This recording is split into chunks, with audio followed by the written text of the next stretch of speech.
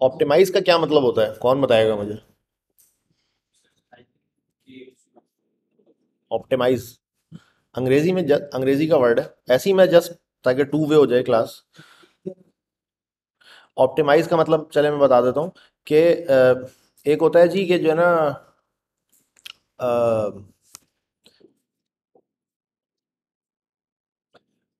Optimise कहते हैं दरमियाने को।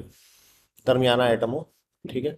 जैसे वो पुराने फ़ोन होते थे उसमें वो एक चार्जिंग लगाते तो लिखा था तो ऑप्टिमाइज चार्जिंग ठीक है? तो एक तो होती है फास्ट चार्जिंग और एक होती है बहुत ही स्लो चार्जिंग एक होती है ऑप्टिमाइज्ड ऑप्टिमाइज्ड का मतलब है कि वो इतना उसको चार्ज करे क्योंकि फास्ट चार्जिंग से फ़ोन गर्म होता है मिसाल के तौर पे।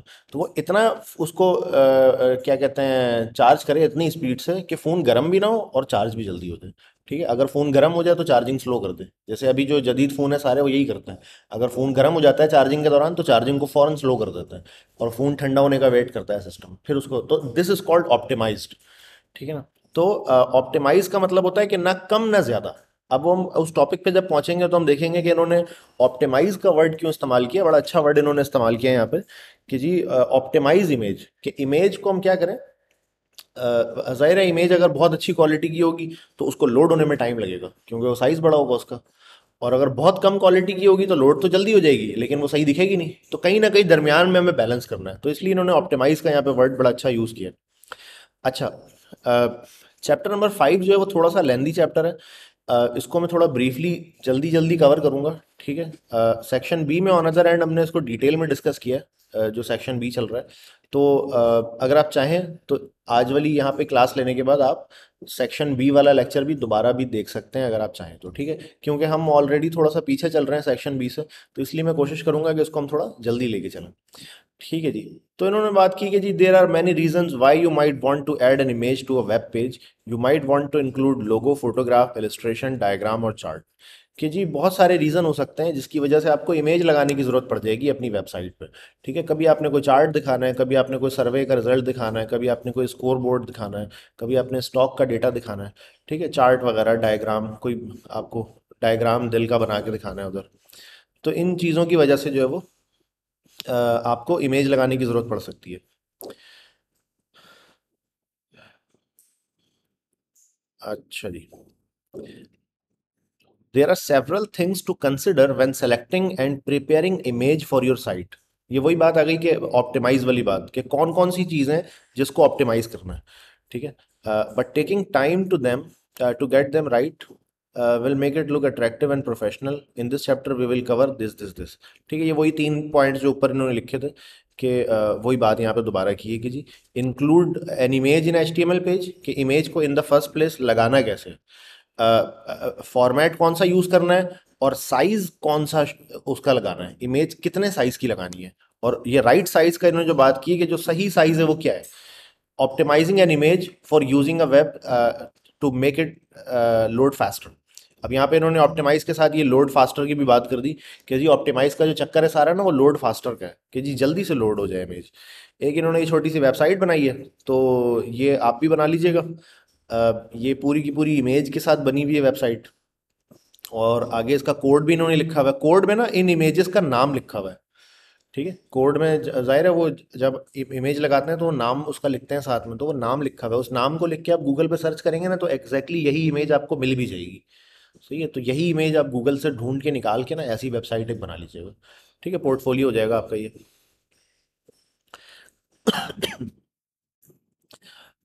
तो choosing image for your site a picture can say a thousand words a great image make the difference between an average looking site and really engaging one कह रहे हैं कि जी पिक्चर जो होता है ना, एक पिक्चर थाउज़ेंड वर्ड्स होता है।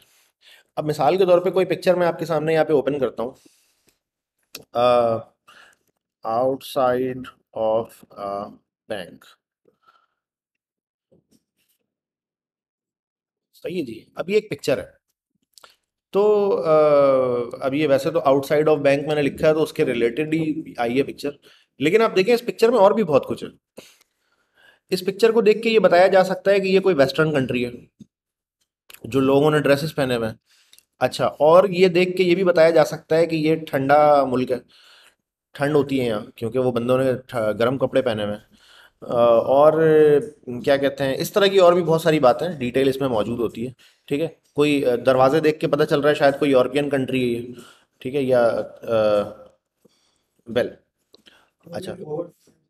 हाँ इस मास्क वगैरह लगा हुआ है और थोड़ा सोशल डिस्टेंसिंग हुई हुई है है ना? तो अगर इसको मैं एक्सप्लेन करना चाहूँ पूरे को तो शायद मुझे एक हज़ार वर्ड लिखना पड़े इसको, अगर ये पिक्चर नहीं हो ये सारी चीज़ें मुझे लिख के बतानी हो। तो शायद वन थाउज़ेंड वर्ड्स तक मुझे लिखना पड़े। वैसे तो महावरतन कहते हैं कि एक हज़ार वर्ड वो एग्जैक्टली exactly हमेशा नहीं एक हज़ार होगा, कभी कम भी, कभी ज़्यादा भी हो सकता है। अच्छा मैं इसमें लिख देता हूँ कि जी, Chinese restaurant. Eat out Chinese restaurant क्या हुआ?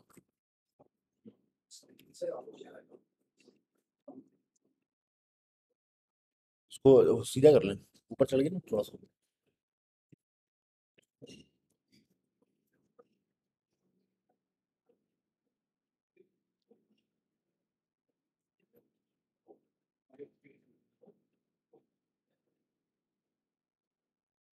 अच्छा अब आप ये देखें, ये पिक्चर जो आपके सामने मैंने ओपन की है।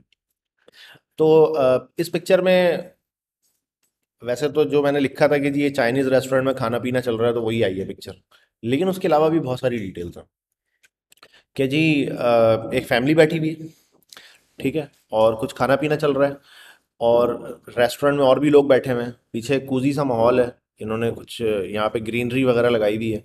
तो इस तरह की बहुत सारी ऐसी डिटेल्स हैं अब चेयर का कलर क्या है लोगों के ड्रेसेस का कलर क्या है कौन से ड्रेसेस हैं ये हेयर स्टाइल लोगों का क्या है तो अगर ये पिक्चर नहीं होती और मुझे ये सारी डिटेल लिख के बतानी पड़ती। तो ये काफ़ी एक अ, मुश्किल मराला होता। अ, मुझे शायद थाउज़ेंड वर्ड्स तक इसमें लिखना पड़ता। ठीक है? अच्छा उसके बाद हम आ जाते हैं।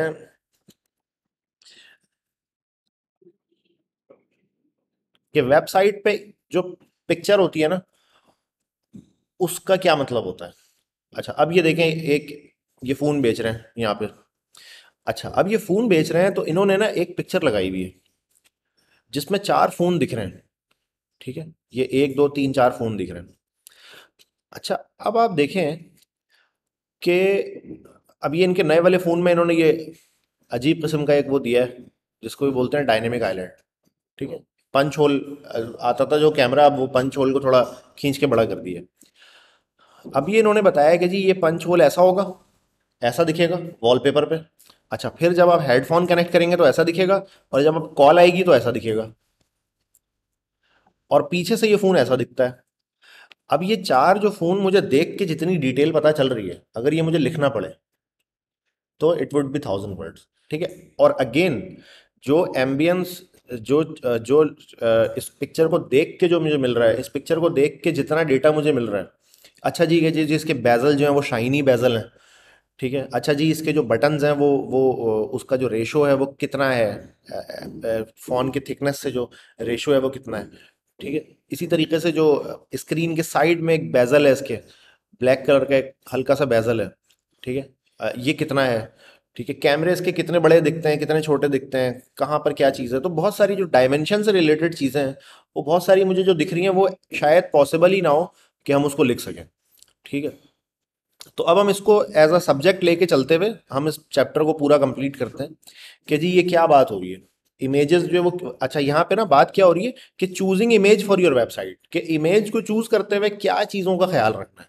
अभी इमेज की टेक्निकल बात नहीं हो रही। अभी बात ये हो रही है कि इमेज होनी कैसी चाहिए। ठीक है? तो अ, सबसे पहली बात बी रेलिवेंट इमेज रेलिवेंट होनी चाहिए। कि जी, अगर कोई रेस्टोरेंट है तो उसके अंदर क्या हो कि जो उसी रेस्टोरेंट की फ़ोटो हो कि लोग बैठ के खाना खा रहे हैं।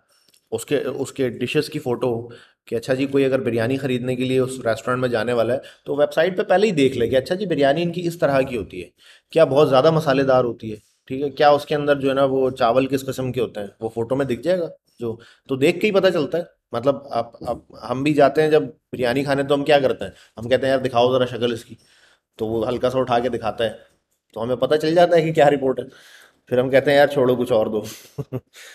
तो रेलेवेंट होनी चाहिए इमेज अच्छा कन्वे इंफॉर्मेशन इमेज के लिए ज़रूरी है कि वो इंफॉर्मेशन कन्वे करे। ठीक है? मिसाल के तौर पे जो हमने थोड़ी देर पहले फ़ोटो देखी थी। इंफॉर्मेशन कन्वे कर रहा है। ये बता रहा है कि जी, जो ये ये डायनेमिक आइलैंड जो है, ये करता क्या है? ये ऐसा दिखता है। ये किस तरह का दिखता है, ठीक है? क्योंकि ये फ़ोन बेच रहे हैं। अच्छा ये देखें आप अलग अलग कलर में भी इन्होंने दिया हुआ है कि जी अच्छा गोल्ड वाले में कैसा दिखता है ये? अच्छा जी, ये सिल्वर वाले में कैसा दिखता है? ग्रे में ये ऐसा दिखता है, ठीक है? जो आप, यहाँ पे से आप देख के अंदाज़ा लगाएँगे कि जी, ये इंफॉर्मेशन कन्वे कर रहा है, ठीक है? एक्चुअल इमेज है कि जी फिजिकली ये डिवाइस कैसी है दिखने में, वो यहाँ पे हमें पता चल रहा है। अच्छा अब आगे चलते जाएँगे अब। अब आप ये देख रहे हैं?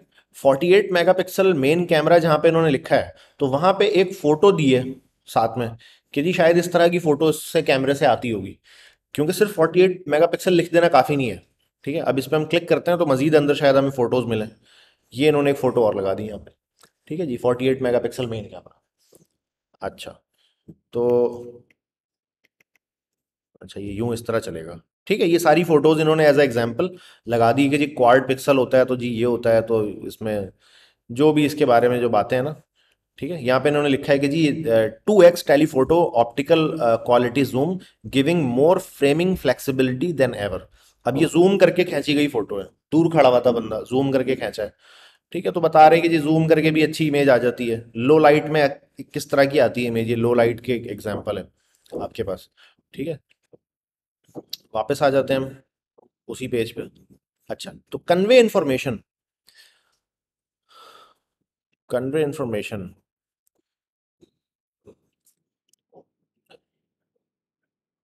ठीक है जी डायनेमिक आइलैंड का दोबारा ज़िक्र किया इन्होंने।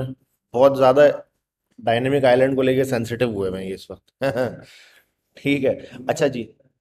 हाँ ये नया फीचर है। तो अच्छा अब आप ये देखें। कि ऑलवेज ऑन डिस्प्ले की बात कर दी इसने, कि जी स्क्रीन की ना लाइट बंद नहीं होती ऑन रहती है हर वक्त। तो ऑन रहती है, ऊपर आप देखें, जब नॉर्मली लाइट इस तरह की दिख रही है इसमें, लेकिन जब ये ऑलवेज ऑन इन्होंने दिखाया ना तो थोड़ा डिम दिखाया है, क्योंकि ऑलवेज ऑन स्क्रीन जो होती है, वो थोड़ी डिम होके बस ऑन रहती है, बिल्कुल बंद नहीं होती। तो किस तरह की दिखेगी? ऑलवेज ऑन की स्क्रीन जो है, वो किस तरह की दिखेगी? जो कुछ फ़ोन होते हैं, जिसमें क्या होता है कि पूरी स्क्रीन ब्लैक हो जाती है, सिर्फ़ टाइम वाला हिस्सा ऑन रहता है, बाकी ऑफ़ हो जाता है। तो यहाँ पे एक इन्फॉर्मेशन कन्वे हो रही है कि नहीं जी, इनका जो ऑलवेज ऑन डिस्प्ले है ना, उसमें पूरी स्क्रीन ऑलवेज ऑन है। तो ये एक इन्फॉर्मेशन कन्वे हो रहा है। अच्छा अब अगले पे आ जाते हैं हम जी। कन्वे द राइट मूड अच्छा राइट मूड का मतलब होता है कि जी, आपको ना डिफरेंट कलर्स देख के और डिफरेंट किस्म की फ़ोटो देख के ना आपका जो साइकोलॉजिकली मूड चेंज होता है। डिफरेंट अच्छा तो अभी आप देखें, ये पिक्चर मैं आपको दिखा रहा हूँ। तो ये एक मूड कन्वे किया हुआ है, एक मूड इसने सेट किया है आपका इन पिक्चर्स ने, क्योंकि सब तरफ़ डार्क डार्क है और वो जो है ना इन्होंने एक एक खास किस्म का मूड इस से कन्वे करने की कोशिश की है। अच्छा ऑन अदर एंड अब आपको मैं दिखा दूँ ये।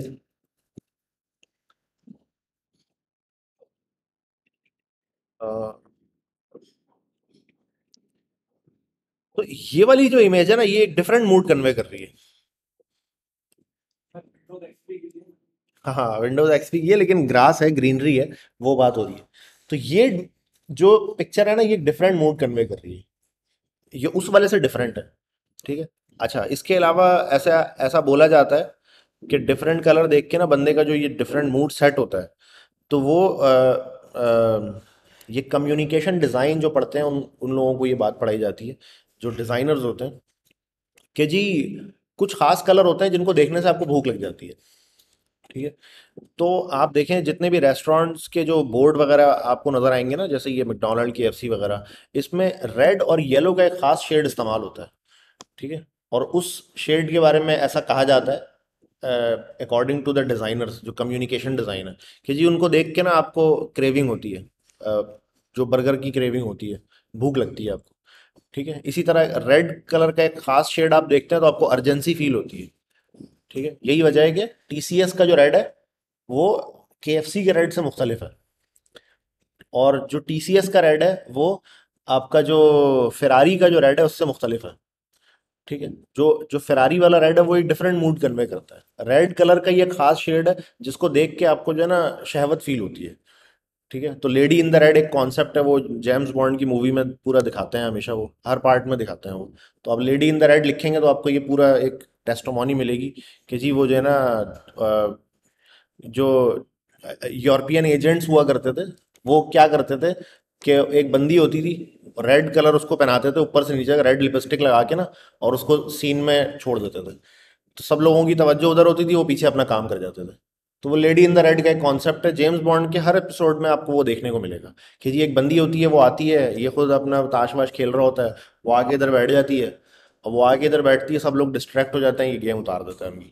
तो अ, तो कलर्स का बड़ा अ, खास जो है ना एक इस्तेमाल है अ, आपके मूड को चेंज करने में आपके मूड को कन्वे करने में। इसी तरह एक जब खास किस्म की खुशबू आप सूंघते हैं तो उससे भी आपका मूड सेट होता है उससे भी आपका मूड चेंज होता है। अच्छा जी बी इंस्टेंटली रिकग्नाइजेबल आपकी इमेज जो है ना रिकग्नाइजेबल होनी चाहिए। मिसाल के तौर पे फ़ोन की यहाँ पे कोई भी ऐसी पिक्चर नहीं है जिसको देख के आपको पता ना चले कि ये फ़ोन है। किसी भी एक पिक्चर में ऐसा नहीं है कि आपको देख के उसको ये अंदाज़ा लगाने में मुश्किल हो कि ये फ़ोन है या क्या है ये। या फ़ोन का कौन सा हिस्सा है? ये फ़ोन का कौन सा हिस्सा है? टॉप का पार्ट है। ये भी टॉप का पार्ट है। ये फ़ोन है। पोर्ट्रेट मॉड की जगह ये लैंडस्केप मॉड में पड़ा हुआ है। ठीक है? तो यहाँ पे कोई भी ऐसी इमेज नहीं होगी जिसको देख के आप रिकग्नाइज ना कर सकें। ठीक है? मिसाल के तौर पे बिरयानी की दुकान में आपने फ़ोटो लगाई है बिरयानी की, लेकिन आपने इतना उसको जूम इन करके लगाया कि सिर्फ़ चार दाने दिख रहे हैं बिरयानी के, है ना? मैक्रो में, मैक्रो अभी मैं लिखूँगा ना, मैक्रो फ़ोटो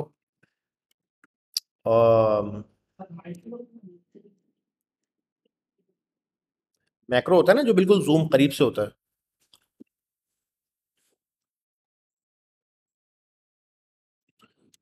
वेल well, अभी मैक्रो बिरयानी का तो आया नहीं लेकिन मैक्रो इमेज कुछ इस तरह की होती है कि जी बहुत वो जूम इन करके ना या देखें आँखों को बिल्कुल जूम इन कर दिया है।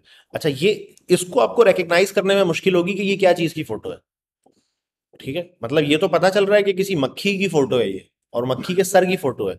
लेकिन क्योंकि आपको पूरी बॉडी नहीं दिख रही तो आपको ये अंदाज़ा लगाना मुश्किल है कि किस किस्म की मक्खी है ये। ऑन अदर एंड ये वाली मक्खी जो है ना इसको देख के फ़ौरन पता चल रहा है कि यार अच्छा ये मतलब किस किस्म की मक्खी है, ठीक है? जैसे ये वाले को देख के आपको इजीली पता चल रहा है कि ये जो है ना कौन सा वाले किस्म का कीड़ा है। लेकिन इसके अगर मैं सर को इतना जूम इन कर दूँ ना, यहाँ की अगर मैक्रो फ़ोटो मैं लूँ अगर तो शायद इसको देख देख के ना इतना ईजिली आप रिकग्नाइज ना कर पाए कि ये क्या चीज़ है। तो ईजिली रिकग्नाइजेबल होना चाहिए आपकी फ़ोटो को ना। आप देखें, ये भी काफ़ी ज़्यादा इन्होंने जूम कर दिया है तो नहीं पता चल रहा है कि ये कौन सी वाली मक्खी है। नहीं रिकग्नाइज हो पा रहा। वेल तो हम वापस आ जाते हैं इधर। अच्छा तो last but not least fit the colour palette colour palette एक चीज़ होती है जी कि हर वेबसाइट का ना, जैसे इस वेबसाइट का जो कलर पैलेट है, वो डार्क डार्क है। तो आप देखें, फ़ोन की भी इन्होंने फ़ोटो हर जगह डार्क डार्क ही लगाई है। ठीक है? मिसाल के तौर पे देखें, इसका बैकग्राउंड जो है ना ब्लैक है, इस जगह पे। तो अंदर की जगह ना, बहुत ज़्यादा ब्राइट नहीं रखी इन्होंने। ठीक है? ये एक कलर पैलेट में फिट हो रहा है। ऑन अदर एंड आपको अगर मैं ये दिखाऊँ कि कौन सी इमेज है जो कलर पैलेट में फिट नहीं हो रही वेल बताने की क्या ज़रूरत है? आप लोग जो इससे पहले टास्क वगैरह बनाते रहे तो अ, जिन लोगों ने सी एस एस लगाई है तो आपने वो देखा था कि वो बिल्कुल ही एक गोला गंडा वाली फीलिंग करा रहा था। तो उस तरह की जो वेबसाइट होती है ना अ, इसमें मैं क्या लिखूँगा तो आएगा अन unmatch unmatch colour palette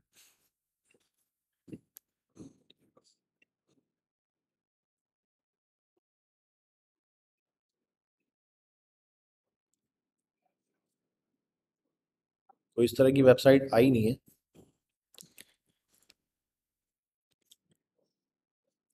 well colour palette की चलो एग्जांपल्स नज़र आ गई हैं। देखें ये जो वेबसाइट है ना इसके अंदर एक दो तीन चार पाँच कलर इस्तेमाल हुए हैं। तो ये इसका कलर पैलेट है ठीक है? अच्छा पैलेट वैसे अंग्रेज़ी में कहते हैं उसको जो वो अ, जो आपने पुराने ज़माने में पेंटर्स के हाथ में देखा होगा एक वो प्लेट के जैसी होती थी उस पर वो छोटे छोटे छोटे ना गोल गोल बने होते थे तो उसके अंदर कलर्स होते थे। आई एम नॉट श्योर अगर मैं पैलेट लिखूँगा ना ये रहा ये आ गया ना। तो ये इसको कहते हैं कलर पैलेट असल में तो इसको कहते हैं कि जी वो पेंटर ना वो ये बना लेता है कलर और कहता है कि जी अब ये पूरी पेंटिंग ना इन्हीं चार कलर से होगी या इन्हीं दस कलर से होगी। तो ये होता है कलर पैलेट जो इनफैक्ट कलर पैलेट हम इसको कहते हैं, लेकिन वेबसाइट की जब हम बात करते हैं ना तो वेबसाइट के अंदर ये ये हो गया कलर पैलेट हमारा कि जी ये ब्लैक है और ये ग्रे है। अच्छा फिर उसका रेशो होता है कि कौन सा वाला कितना है। इसका एक जो, वैसे तो रेशो कुछ भी हो सकता है, लेकिन इसका जो रेशो चलता है ज़्यादातर वो चलता है टेन, ट्वेंटी और इस तरह करके होता है वो एक तो सिक्सटी, फोर्टी नहीं होता, सिक्सटी, फोर्टी नहीं होता, फोर्टी, थर्टी, ट्वेंटी, टेन हाँ ये होता है, फोर्टी, थर्टी, ट्वेंटी, टेन, ये इस तरह का एक रेशो होता है तो अब आप इसमें देखें कि फोर्टी परसेंट जो कलर है वो शायद, वो तो ब्लैक ही है, ठीक है और उसके बाद थर्टी, जो फोर्टी के बाद थर्टी होता है वो भी थोड़ा डार्क ग्रे ही है, आप देखें बैकग्राउंड के अंदर ना ब्लैक और ग्रे का एक मिक्सचर है तो फोर्टी और थर्टी तो ये दोनों है। और ट्वेंटी और टेन में ना शायद ट्वेंटी परसेंट कलर ये वाला है। ये हेलो के अंदर जो ट्वेंटी ये आ रहा है। ठीक है? और टेन परसेंट शायद ये ग्रे जो है ना, ये शायद टेन परसेंट है। अब ये क्योंकि इसमें पाँच है तो वो ज़ाहिर है वो ये वाला रेशो तो नहीं होगा इसका। फोर्टी थर्टी ट्वेंटी टेन नहीं है। लेकिन ये रेशो कुछ भी हो सकता है।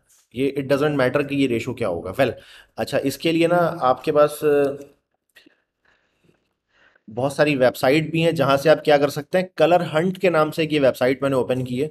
अच्छा तो मैंने कहा कि जी मुझे ना क्या चाहिए आ, लाइट कलर में चाहिए वेबसाइट और मुझे चाहिए नेचर के लिए वेबसाइट ठीक है? एक हैप्पी कलर्स होते हैं जो चलो हैप्पी कलर्स लगाते हैं ठीक है? मैंने कहा मुझे हैप्पी वाले चाहिए ओ ओ ये क्या हो गया? हैप्पी आ गया वो गायब हो गया। हैप्पी और मैंने क्या लगाया था? लाइट लगाया था। ठीक है, अभी देखें यहाँ पे डार्क वाले कलर्स भी शो कर रहे हैं ना। अभी मैं इसको लाइट लगा दूँगा ना तो ये फिर डार्क वाले गायब कर देगा। ठीक है, देखें, सारे लाइट कलर्स आ गए और ये सारे हैप्पी कलर्स आ गए। सही है, ये हैप्पीनेस वाले कलर्स हैं ये सारे। अच्छा अगर मैं हैप्पीनेस को चेंज कर दूँ यहाँ से और इसमें सैड कलर लगा दूँ। सैड वाला तो इसमें है ही नहीं।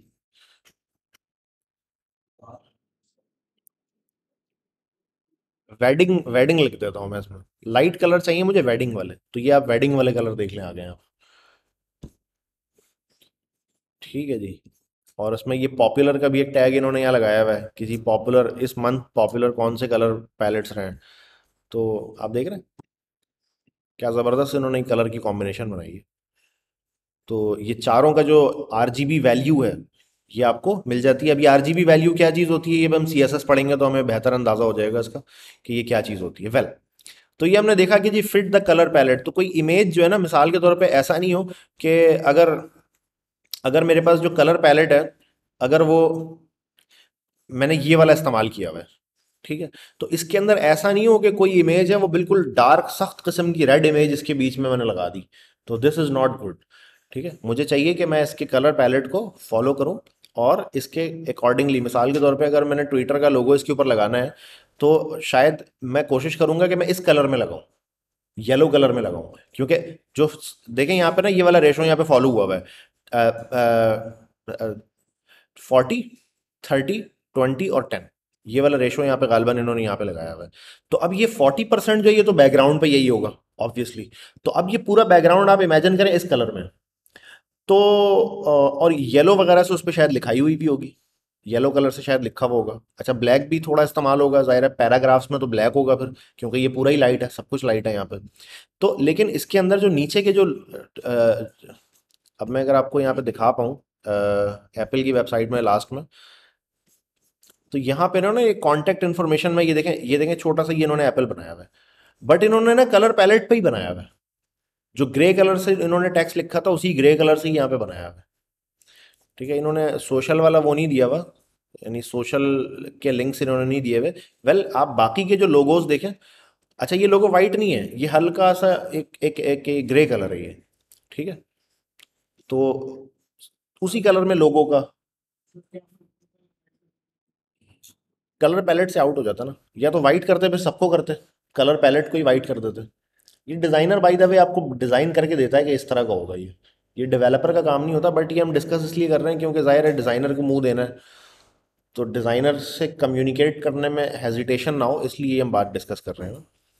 ठीक है तो अब इसका अगर हम कलर पैलेट कॉपी करेंगे ना यहाँ से तो हमारे पास जो है ना ये पिक का कलर तो फोर्टी परसेंट तो ये आ गया सबसे पहले। यहाँ पे कलर पैलेट क्या हम बना सकते हैं क्या? अ, इसको हम चेंज तो नहीं कर सकते कर सकते हैं क्या? नहीं चेंज नहीं कर सकते उसको।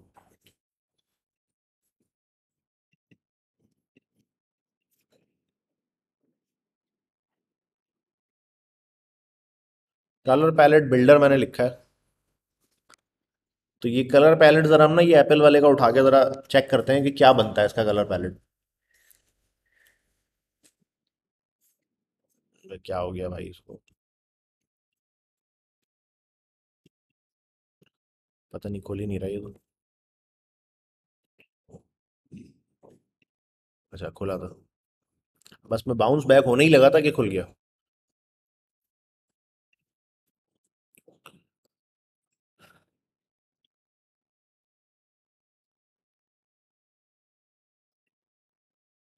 अच्छा यहाँ पे ना मॉडिफाई करने का ऑप्शन है।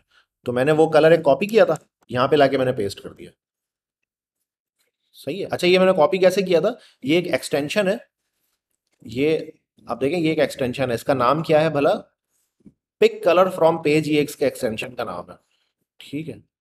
तो मैंने क्या किया कि जी pick colour not like that pick colour from page और यहाँ पे आके ना मैंने ये जो इनका ब्लैक कलर था, ये मैंने इनका कॉपी किया।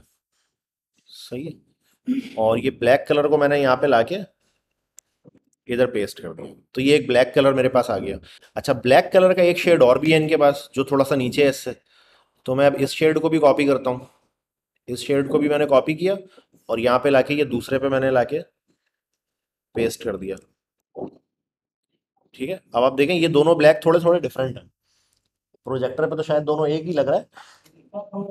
थोड़ा सा फ़र्क है, लेकिन अच्छा उसके बाद ये जो जो ग्रे इसका कलर है, ये मैं उठा के ले आता हूँ।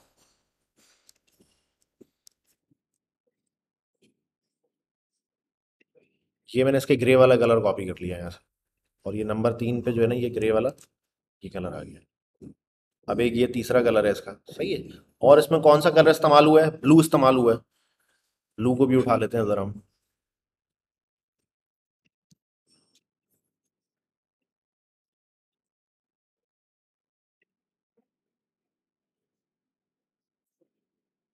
ठीक है जी। और कौन सा कलर इसमें इस्तेमाल हुआ है? बस, ख़त्म। यही कलर्स हैं इसके। नहीं, इमेजेस का जो कलर है वो पैलेट में इंक्लूड नहीं होगा। बस और तो कोई कलर नहीं है इसमें राइट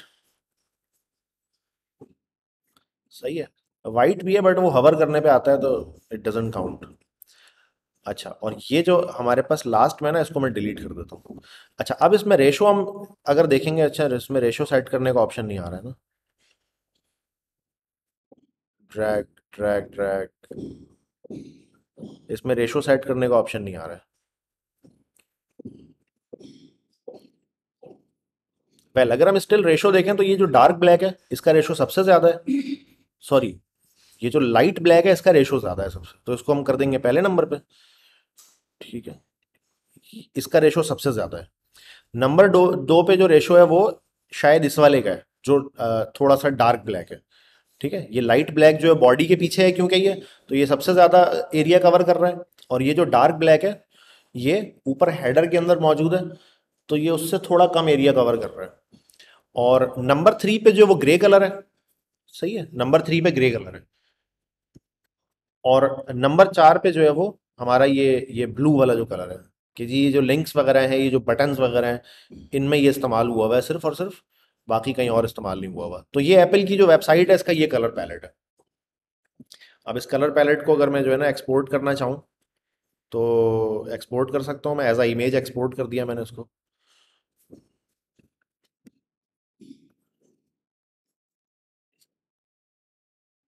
ठीक है, ये कलर पैलेट मैंने एक्सपोर्ट एक्सपोर्ट कर लिया। तो आपको जो डिज़ाइनर देगा ना कलर पैलेट वो इस तरह करके दे सकता है। ठीक है, मैं आपको ज़रा एक और भी दिखा देता हूँ एक चीज़। फिग्मा एक ऐप है। तो चैट ऐप डिज़ाइन, ठीक है?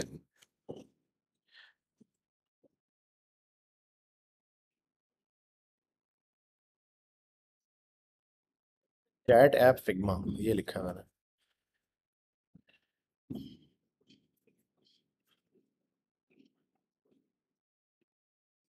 नहीं यार वेदर ऐप लिख देता हूँ चैट में कुछ आ नहीं रहा।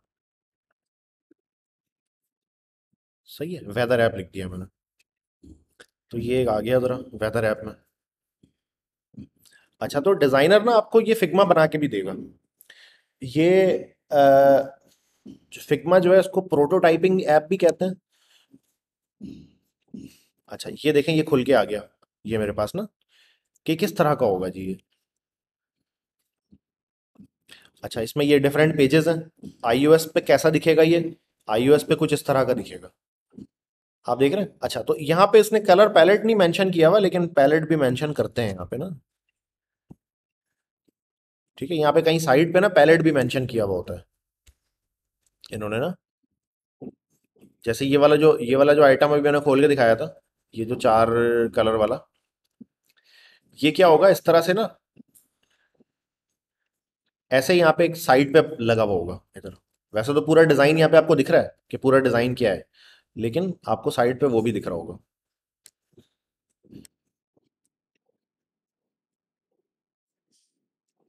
कैसे जूम इन किया था इसको?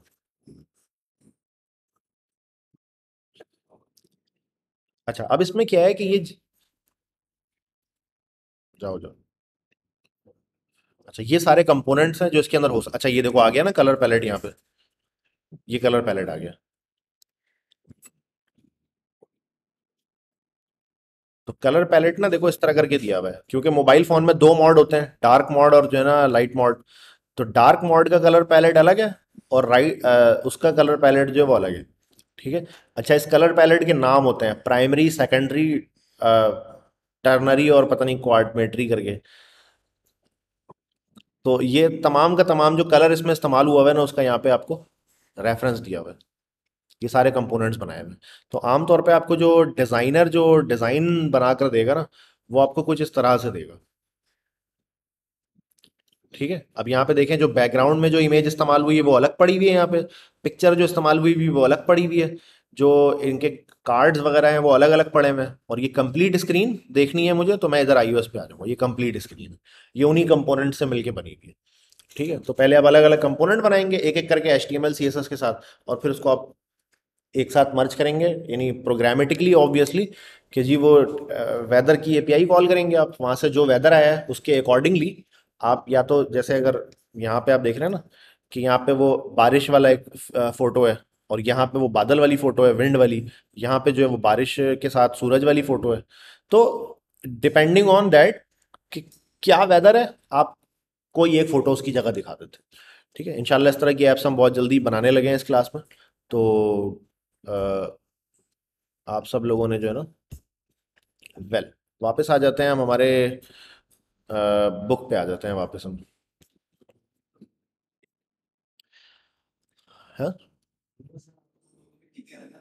हाँ टिके रहना है, भागना नहीं है। Storing image in your site storing image in your site में इन्होंने बताया कि जी, एक आपने ना फोल्डर बनाना है अपनी वेबसाइट में इमेज के नाम से या आईएमजी के नाम से, तमाम की तमाम फ़ोटो आपने उस उस फोल्डर के अंदर रखनी है। ठीक है? इमेज का टैग इस्तेमाल कैसे होता है? यहाँ पे इन्होंने उसका ज़िक्र किया है। ये आप सब लोगों ने लगा के देखी है इमेज ये वाला टैग सब लोगों ने लगा के देख लिया आप लोगों ने? Online online is not recommended right अभी मैं अब आपको चलो करके दिखाता हूँ मैं कि वो क्या चक्कर है। हाँ नहीं, हो जाता है वैसे भी, लेकिन देर इज़ अ प्रॉब्लम ना। उस वाली अप्रोच में एक प्रॉब्लम है।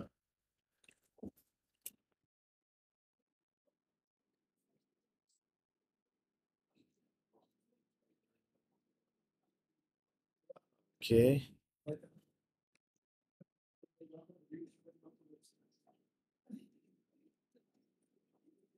ये मैंने जी एक जो है ना वो बना दी।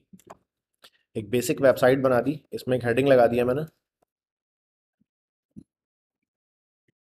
H T M L five images सही है, और यहाँ पे मैंने क्या लगाना है? आईएमजी का टैग अब ये मैंने क्या किया? आईएमजी लिख के टैब दबाया तो वो खुद ही हो गया। अब ये एसआरसी में ना मैंने देना है सोर्स इमेज का सोर्स देना है मैंने। अब मैं जाऊँगा गूगल पे, और गूगल पे जाके ना मैं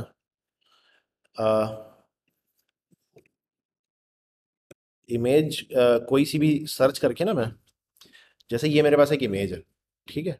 अब मैं क्या करूँगा राइट क्लिक करके, ठीक है? राइट क्लिक करके मैं open image in new tab करूँगा, सही है? Open image in new tab जब मैं करता हूँ ना तो यहाँ पे इसका यूआरएल आ जाता है इमेज का, ठीक है? इस यूआरएल को मैंने क्या किया? कॉपी किया और कॉपी करके मैंने यहाँ पे एस आर सी में लाके पेस्ट कर दिया। ठीक है? अब इससे ये इमेज डिस्प्ले तो हो जाएगी but this is not recommended ठीक है? इसको मैं चला के दिखा देता हूँ, ये इमेज बिल्कुल सही डिस्प्ले हो जाएगी। लेकिन प्रॉब्लम उसमें क्या होगी? वो भी आपसे मैं ज़िक्र कर देता हूँ। ठीक है? ये इमेज हमारी डिस्प्ले हो गई। अब इसकी मैं विर्थ अगर विर्थ अगर इसकी मैं कर देता हूँ, भाई 500 पिक्सल तो ये जी, ये 500 पिक्सल पे हो गई। अब प्रॉब्लम इसके अंदर ये है कि ये जो यूआरएल है ना, ये आप अगर इस पर गौर करें तो ये किसी वेबसाइट का यूआरएल है। अगर मैं बैक करूँ ज़रा, अगर मैं एक स्टेप बैक करूँ, है ना, यहाँ पे तो ये गूगल सर्च में जो इमेजेस आती है ना, वो असल में किसी ना किसी वेबसाइट से उठकर आती है। ठीक है, जैसे ये इमेज हो गई। अब इस इमेज ये देखो विज़िट का भी बटन बना हुआ है। अब ये कोई आर्टिकल है। व्हाट इज़ इमेज प्रोसेसिंग करके कोई आर्टिकल है ये। अब मैं इसको खोलूँगा इमेज ये कॉपी करूँगा कॉपी हो जाएगा। मैं विज़िट का बटन दबाता हूँ। अब देखें, ये आर्टिकल है। अगर ये आर्टिकल यहाँ से डिलीट हो गया ना समहाउ तो ये इमेज भी ख़त्म हो जाएगी है ना? और वंस ये इमेज ख़त्म हो गई ना तो मैं यहाँ रिफ्रेश करूँगा मेरे पास इमेज लोड ही नहीं होगी। समझ लो तो जब तक ये इमेज इस इंटरनेट पे इस लोकेशन पे मौजूद है ना जब तक ही मुझे वो मिलेगा अगर जिस दिन ये इमेज इंटरनेट से उधर से गायब हो गई ना अब देखें अब किसी भी इमेज पे मैं क्लिक करूँगा तो अब देखें ये आ, कोई वेबसाइट है ड्रीम लाइन ड्रीम टाइम्स करके ये वहाँ पे ये मौजूद है। ठीक है? जी।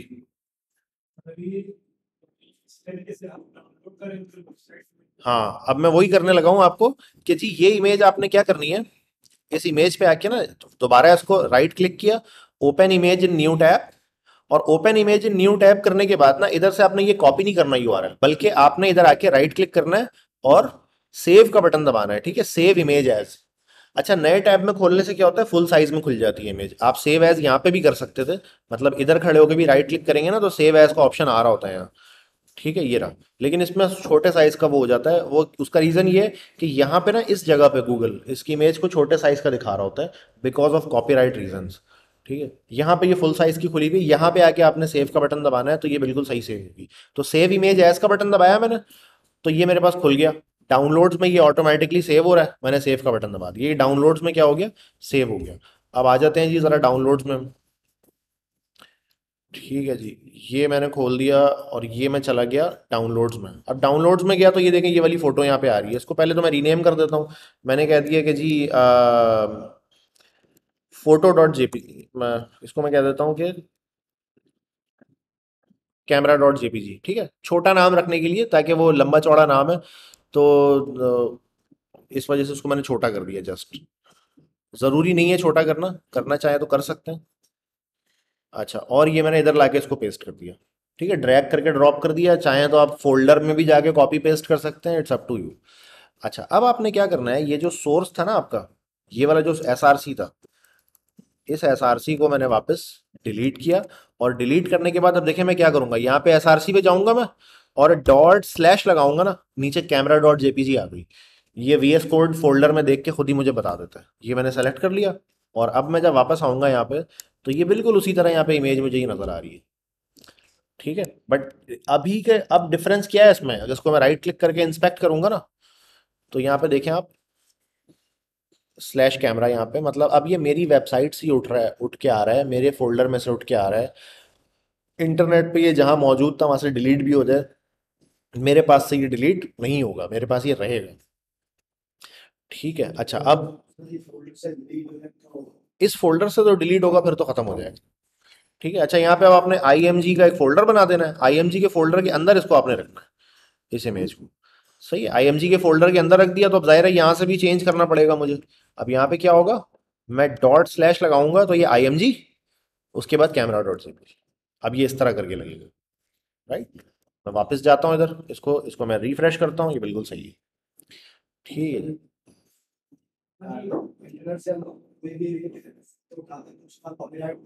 बिल्कुल उसका कॉपीराइट आएगा। अब उसके लिए जो तरीका इस्तेमाल होता है, वो क्या होता है? स्टॉक इमेजेस स्टॉक फ़ोटोज़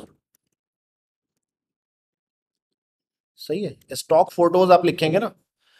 तो कुछ वेबसाइट्स होती हैं जिनका काम ही यही होता है वो फ़ोटो फरोख्त करना उनका काम होता है ठीक है? फ़ोटो बेचना उनका काम होता है। तो आप देखें ये एक आ रही है यहाँ पे हमारे पास शटर स्टॉक ठीक है? पिक्सल्स के नाम से एक आ रहा है। अनस्प्लैश अनस्प्लैश में बड़ा यूज़ करता हूँ। तो चलते हैं अनस्प्लैश में ठीक है? अच्छा यहाँ पे आपने साथ में ये फ्री भी लिख देना है। फ्री स्टॉक फ़ोटोज़ राइट क्योंकि वो कुछ पेड भी होते हैं इनमें से। तो ये अनस्प्लैश इसमें ये फ्री वाले में शामिल है अनस्प्लैश अच्छा यहाँ अनस्प्लैश में आके ना आपने अब यहाँ पे आके आपने कुछ भी बात लिखनी है। मिसाल के तौर पर मैं मोबाइल फ़ोन की वेबसाइट बनाना चाह रहा हूँ तो मैं यहाँ पे लिखूँगा मोबाइल फ़ोन। तो ये आप देखें, मोबाइल फ़ोन की कितनी सारी फ़ोटोज़ यहाँ पर आ गई। सही है तो बैनर के तौर पे लगाने के लिए ये फ़ोटो काफ़ी सही है।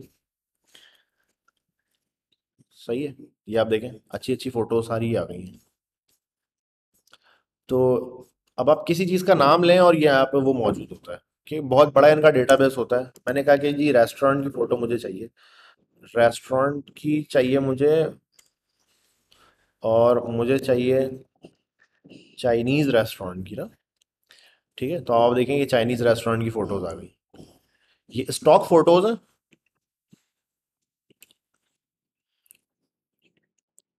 ठीक है, और ये हाई क्वालिटी फ़ोटोज़ हैं। इनकी ये सबसे अच्छी बात है, ये हाई क्वालिटी फ़ोटोज़ हैं।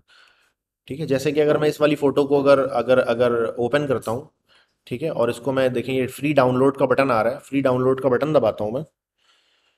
ठीक है? तो और इसको मैं ओपन करता हूँ इस इमेज को। तो ये अच्छा खासा ना साइज़ में ये बड़ी इमेज होती है राइट अब आप देखें इसको मैं जूम इन करूँगा ना तो ये अच्छी खासी आ, मतलब क्वालिटी है इसकी। ठीक है? देखें डिटेल्स इसकी अभी तक मिस नहीं हुई है। इतना जूम करने के बावजूद भी ना तो इसको मज़ीद भी जूम कर सकते हैं। तो मैंने इसको अच्छा खासा अब जाके कहीं इसकी डिटेल मिस होना शुरू हो रही है इस पॉइंट पे आके, ठीक है? तो काफ़ी डिटेल्ड फ़ोटो होती है ये। अगर मैं इस जगह पे इसको जूम इन करूँ तो आप देखें, बड़ी अच्छी डिटेल्स हैं इसके अंदर। काफ़ी बड़े साइज़ की इमेज है ये। तो अब जहाँ पे भी मुझे इस्तेमाल करनी है, वहाँ पे मैं क्या करूँगा इसको? डिपेंडिंग ऑन के जो है ना मुझे कहाँ पे इस्तेमाल करनी है, इसको मैं रीसाइज कर लूँगा, छोटा बड़ा कर लूँगा अपने हिसाब से उसको मैं। जी। यार, अभी वो छोड़ो ना, क्या फ़ायदा। अच्छा इस इमेज का साइज़ भी देख लो 2.4 पॉइंट है, ठीक है? ये भी एक देखने वाली चीज़ है कि 2.4 point is a very large size ठीक है? इसका जो साइज़ होना चाहिए ना, वो इतना होना चाहिए। पचास के बी सौ के बी तीन सौ के बी इज़ द मैक्सिमम ठीक है? तीन सौ, चार सौ के बी से ज़्यादा की फ़ोटो आपके वेबसाइट पे नहीं होनी चाहिए, आमतौर पर। तीन, चार, दस, बीस जितनी भी हो, लेकिन तीन सौ, चार सौ के बी जो है ना this is the maximum size इससे आपने ऊपर कभी भी नहीं जाना।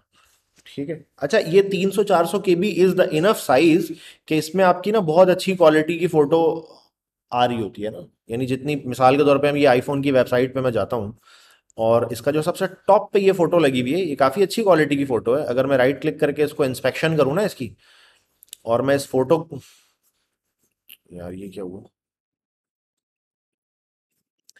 इसकी मैं इंस्पेक्शन करके ना अगर इस फ़ोटो को मैं चेक करूँ कि ये फ़ोटो क्या लगाई हुई है इन्होंने।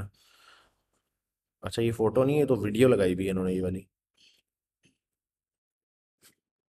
ये वीडियो लगाई हुई नीचे चलते हैं फ़ोटो या जैसे ये फ़ोटो है। ठीक है? तो देखिए अब ये 600 पिक्सल की फ़ोटो है राइट अब ये 600 पिक्सल की फ़ोटो है और इसका जो साइज़ है वो आप देखिए 185 एटी है। इस फ़ोटो का जो साइज़ है ठीक है? और हम आगे चलते हैं। यहाँ पे आ, कुछ और भी इसने बंदों बंदों की भी फ़ोटो लगाई हुई है ना जैसे ये एक फ़ोटो है। कितनी अच्छी क्वालिटी की फ़ोटो है। इसको हम ज़रा इंस्पेक्शन करते हैं कि क्या इसका साइज़ है। वन पॉइंट इसका साइज़ है। ठीक है? थोड़ा बड़ा साइज़ है ये बट आप इसको देखें ये फ़ोटो लगी हुई है काफ़ी नीचे। तो जब शुरू में पेज लोड होता है ना तो ये फ़ोटो नीचे लोड होने का टाइम इसको मिल रहा है। ठीक है? जो टॉप वाली फ़ोटोज़ होती हैं वो ज़्यादा क्रिटिकल होती हैं। वेल well, अच्छा इसी तरीके से ये जो इन्होंने फ़ोटो लगाई हुई है इसको भी ज़रा हम इंस्पेक्शन करते हैं इसकी।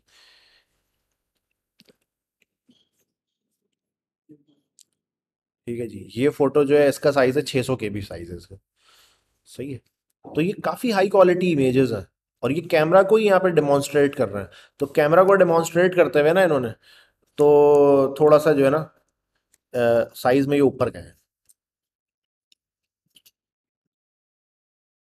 ठीक है? इस वाली इमेज को भी ज़रा हम इंस्पेक्शन कर लेते हैं कि क्या सीन है इसका।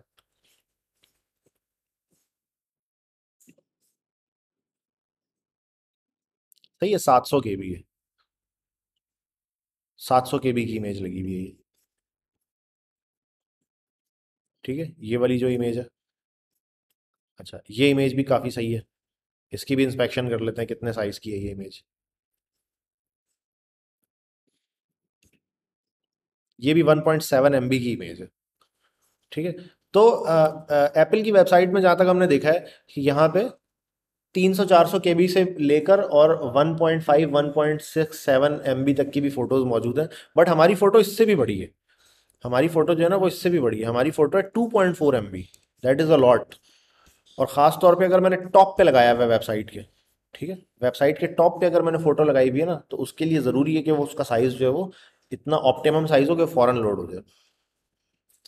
अच्छा तो अब स्टॉक इमेजेस से मैं जितनी भी फ़ोटोज़ डाउनलोड करूँगा, उन तमाम फ़ोटोज़ का जो साइज़ होगा, वो इसी तरह से ही होगा। साइज़ बड़ा होगा उसका। अच्छा इसको मुझे क्या करना है? इसको मुझे ऑप्टिमाइज़ करना है। ऑप्टिमाइज़ की तरफ़ हम आते हैं, लेकिन उससे पहले हम ज़रा बुक में चल के ना, ये बात इसकी पढ़ लेते हैं कि ये क्या बता रहे हैं। ठीक है? ये इमेज हमने लगाना सीख लिया एट दिस पॉइंट आगे चलते हैं जी, इससे हम height and width of image height और विर्थ चेंज करने के लिए हम क्या लगा सकते हैं? हाइट और विर्थ का एट्रीब्यूट लगा सकते हैं। बट ये हाइट और विर्थ का एट्रीब्यूट लगाकर, जैसे मैंने अभी यहाँ पे किया है ना राइट नाउ कि जी मैंने वो पिक्चर बड़ी थी, मैंने 500 पिक्सल लगाया पिक्चर छोटी होकर नज़र आना शुरू हो गई। This is not the thing ठीक है? ये जो आपका एट्रीब्यूट है विर्थ का, ये इस चीज़ के लिए नहीं बनाया गया। ठीक है? ये करना मुनासिब नहीं है जो मैंने ये किया है अभी। असूलन क्या होना चाहिए? जो मेरी इमेज है, उसका साइज़ अगर मुझे 500 पिक्सल की दिखानी है ये इमेज तो इसका साइज़ 500 पिक्सल ही होना चाहिए। मैं दोबारा से इसको कॉपी पात करके ओपन करता हूँ और मैं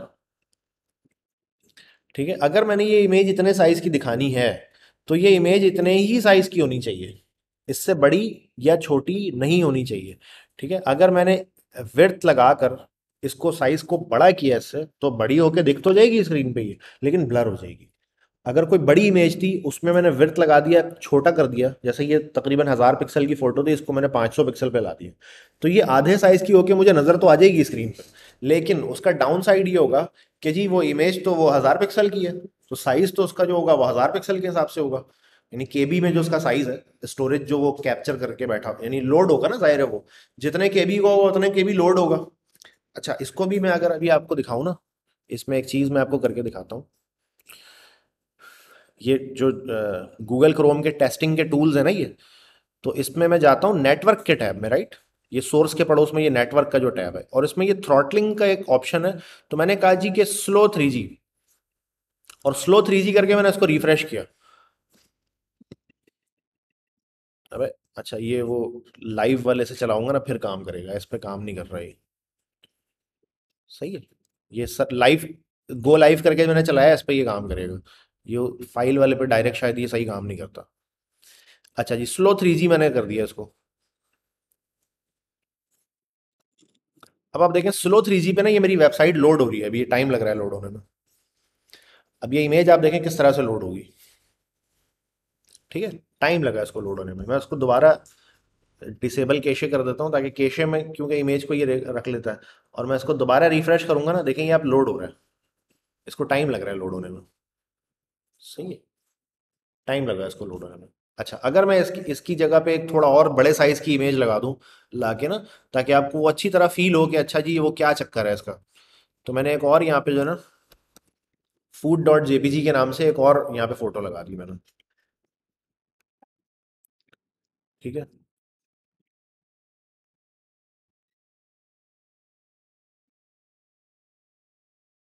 और क्या हो रहा है ये? हाँ? ये मैंने अभी डाउनलोड की थी, वो है ना ये? इमेज के फोल्डर में। अच्छा ये जी आ गई है नीचे हमारे पास। अच्छा ये क्योंकि साइज़ इमेज का बहुत ही बड़ा है ये।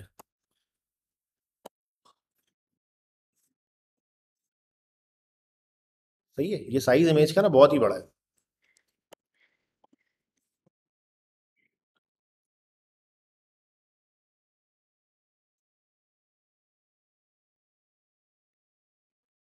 अच्छा ये मैंने डिसेबल कैशे किया हुआ है और स्लो थ्री किया हुआ है? और अब मैं इसको क्या करने लगा हूँ? इसको मैं रिफ्रेश करने लगा हूँ। अब आप देखें, वो एक एक करके इमेज ना ये डाउनलोड करेगा। ये देखें इमेज किस तरह से डाउनलोड हो रही है।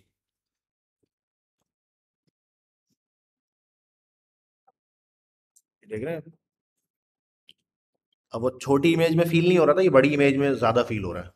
अच्छा एक चीज़ और भी मैं आपको दिखाना चाहूँगा इस पॉइंट पे अगर सब जो विड्थ का लगा के छोटा कर देंगे तो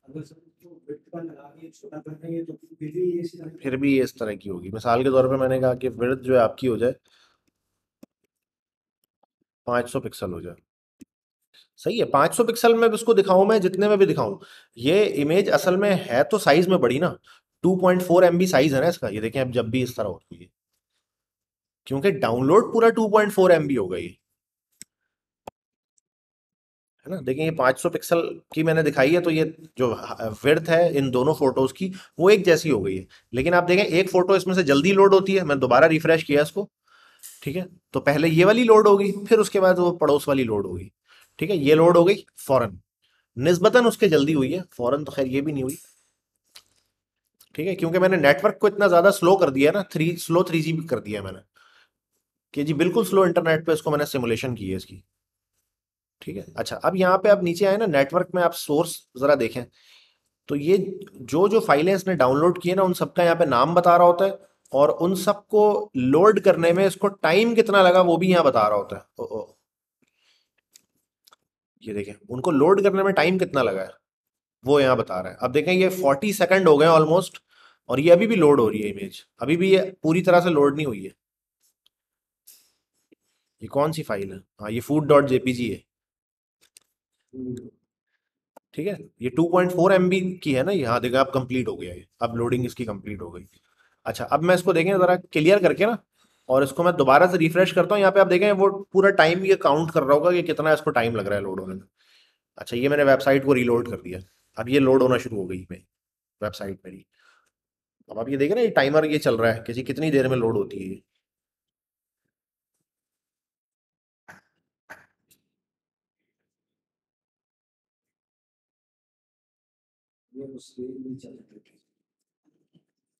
ठीक है? ये स्लो थ्री जी पे मैंने इसको किया हुआ स्लो थ्री जी में हटा दूँगा तो ये निस्बतन जल्दी लोड होगी क्योंकि हमारा इंटरनेट सोलह सत्रह एमबी का तो है ही, है ना?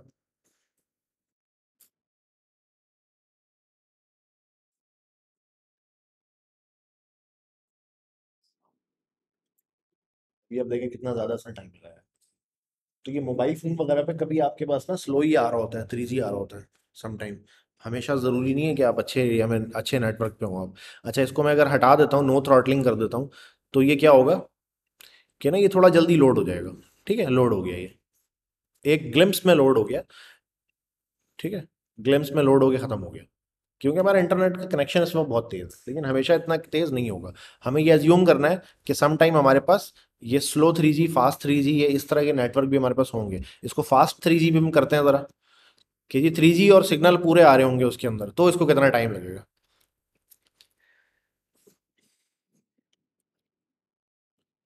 इस पे भी ओवरऑल इसने कोई दस सेकंड के करीब लगा देना है।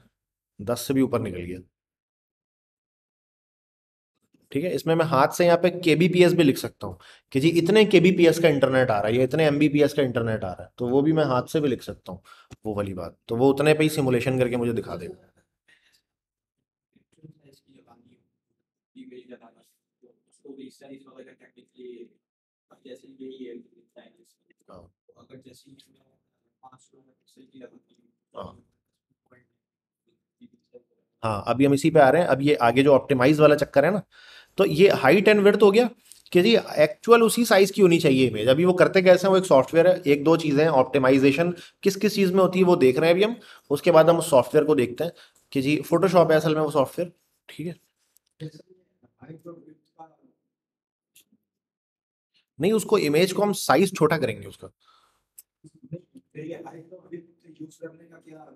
हाँ ये बड़ा अच्छा इन्होंने सवाल पूछा कि जी, अगर तो वो हाइट और विड्थ लगा के हम छोटा है बड़ा नहीं कर सकते इमेज को तो हाइट और विड्थ है ही क्यों इन द फ़र्स्ट प्लेस अब इसका भी जवाब ना यहीं पे छुपा हुआ है। अब इसका जवाब मैं आपको बताता हूँ कि क्या है।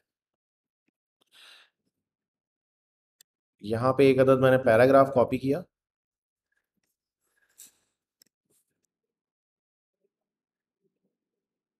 सही है। एक पैराग्राफ इमेजेस से पहले, एक पैराग्राफ इन दोनों इमेजेस के दरमियान में, और एक पैराग्राफ इन दोनों इमेजेस से पहले। ज़ाहिर इसी तरह का एक स्ट्रक्चर होता है हमारे पास। हमारे पास कभी भी ये ज़ाहिर है, ऐसा तो नहीं होता कि जी, वो सिर्फ़ इमेजेस ही चल रही हैं या सिर्फ़ टेक्स्ट ही चल रहा है। एक कॉम्बिनेशन होता है इमेजेस का और टेक्स्ट का एक कॉम्बिनेशन होता है, ठीक है? अभी इसके अंदर ना विर्थ डिफाइन हुई हुई है। अभी इसके अंदर क्या हुई हुई है? विर्थ डिफाइन हुई हुई है अच्छा विर्थ डिफाइन हुई हुई जब होती है ना तो आप देखते हैं कि क्या होता है। अच्छा वो स्लो थ्री जी तो जब तक मैं लगाऊँगा नहीं, जब तक ये सही चलेगा नहीं।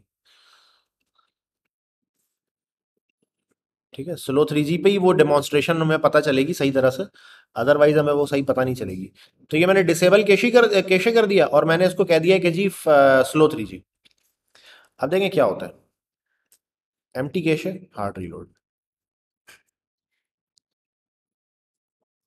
अब ये इमेज की ना जगह छोड़ दी है इसने। आप देख रहे हैं, ये हालाँकि इमेज अभी लोड हो रही है स्टिल लेकिन इसको पता है कि ये कितने साइज़ की इमेज है। इसने जगह छोड़ दी इमेज की। अच्छा अब मैं ऑन अदर एंड क्या करता हूँ कि इसमें से ये विर्थ हटा देता हूँ। दोनों में से हटा दी मैंने।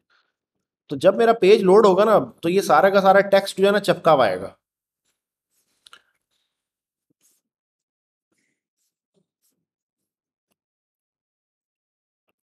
यार ये क्या हुआ?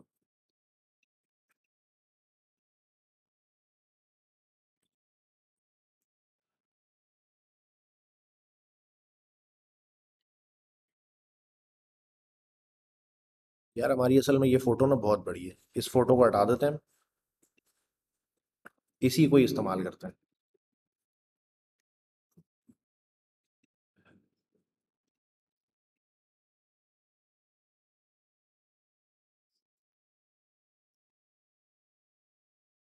ठीक है, ये पूरी तरह से हमारी वेबसाइट लोड हो गई है। अब इसको मैं क्या करता हूँ? इसको मैं रिफ्रेश करता हूँ।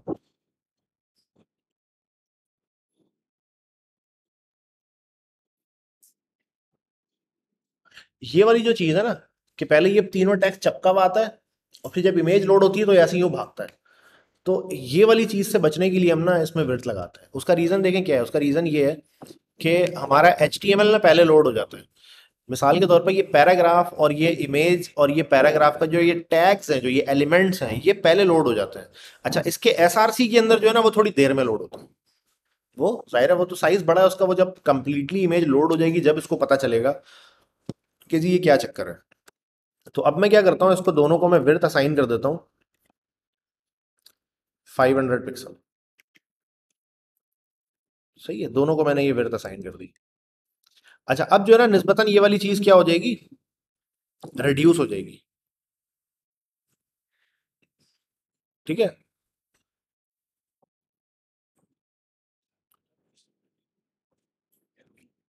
अच्छा ये पूरी तरह लोड हो गई है? और अब मैं इसको क्या करूँगा? रिफ्रेश करूँगा। तो रिफ्रेश करते ही ना आप देखेंगे, यार ये अभी भी चपक रही है, क्या चक्कर है?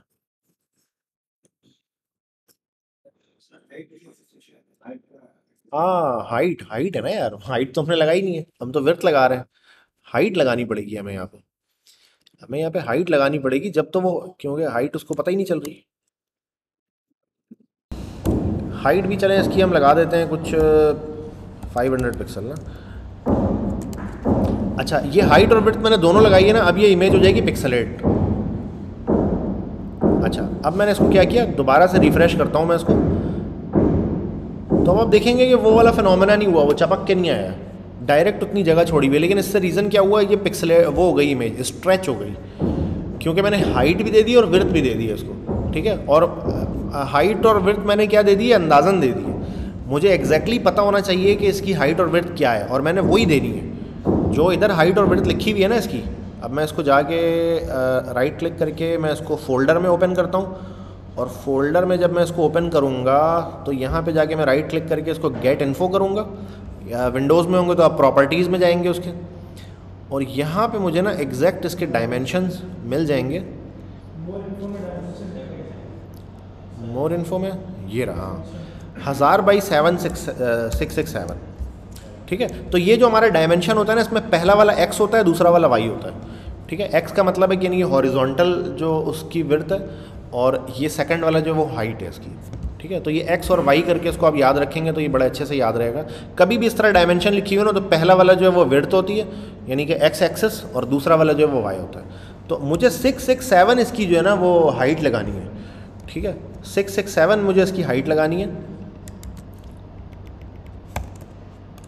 सिक्स सिक्स सेवन और इसकी विर्थ जो लगानी है मुझे, वो लगानी है वन थाउज़ेंड पिक्सल ठीक है? तो देन इट वुड बी क्या?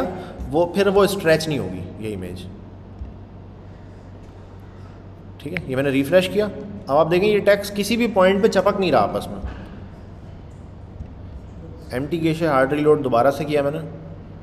किसी भी पॉइंट पे ये टेक्स्ट आपस में चपक नहीं रहा, क्योंकि एचटीएमएल में मैंने उसकी हाइट मेंशन कर दी है। ठीक है जी। अच्छा इसी तरह विर्थ का भी हिसाब किताब है, क्योंकि अभी तो ये इमेज ना मतलब वन आफ्टर वन है, कि जी एक के बाद एक नीचे वो एक सीक्वेंस में वो है। लेकिन मोस्ट ऑफ़ द टाइम क्या होता है इमेज वो हॉरिजॉन्टली भी होती है साइड बाय साइड भी होती है। वन आफ्टर वन की जगह साइड बाय साइड भी होती है। तो उस केस में अगर विर्थ नहीं पता तो वो यूँ चपक जाएगा। साइड है, उसकी आपस में चपक जाएँगी। मिसाल के तौर पे कोई इमेज है, उसके बाद थोड़ा सा टेक्स्ट है और फिर एक और इमेज है। तो वो बीच का जो टेक्स्ट है, वो पहले क्या होगा? इमेज की जगह छोड़ेगा नहीं, वो वो लाइन के शुरू से स्टार्ट हो जाएगा। लेकिन जैसी इमेज लोड होगी, वो टेक्स्ट भाग के आगे आएगा और पीछे इमेज आ जाएगी उसके। तो इस, उसमें फिर मुझे विर्थ मेंशन करना होगा। तो ये विर्थ और हाइट का जो जो एट्रीब्यूट है, वो इस काम के लिए बना है। बहुत अच्छा सवाल दोस्त ने किया। तो उसमें ये अब जवाब आ गया आपका। ठीक है जी। अच्छा ये इन्होंने कुछ बात की है कि जी जो है ना इमेज को प्लेस कहाँ कहाँ पे किया जाता है और वो किस तरह से हो रहा होता है। किसी आर्टिकल में पहले इमेज हो सकती है, फिर पैराग्राफ हो सकता है या पैराग्राफ के शुरू में इमेज हो सकती है। तो इस तरह की यहाँ पे इन्होंने बात की है। इसको पढ़िएगा ज़रूर, ये, ताकि आपको प्रॉपर समझ आए कि क्या बात है। और ये यहाँ पे।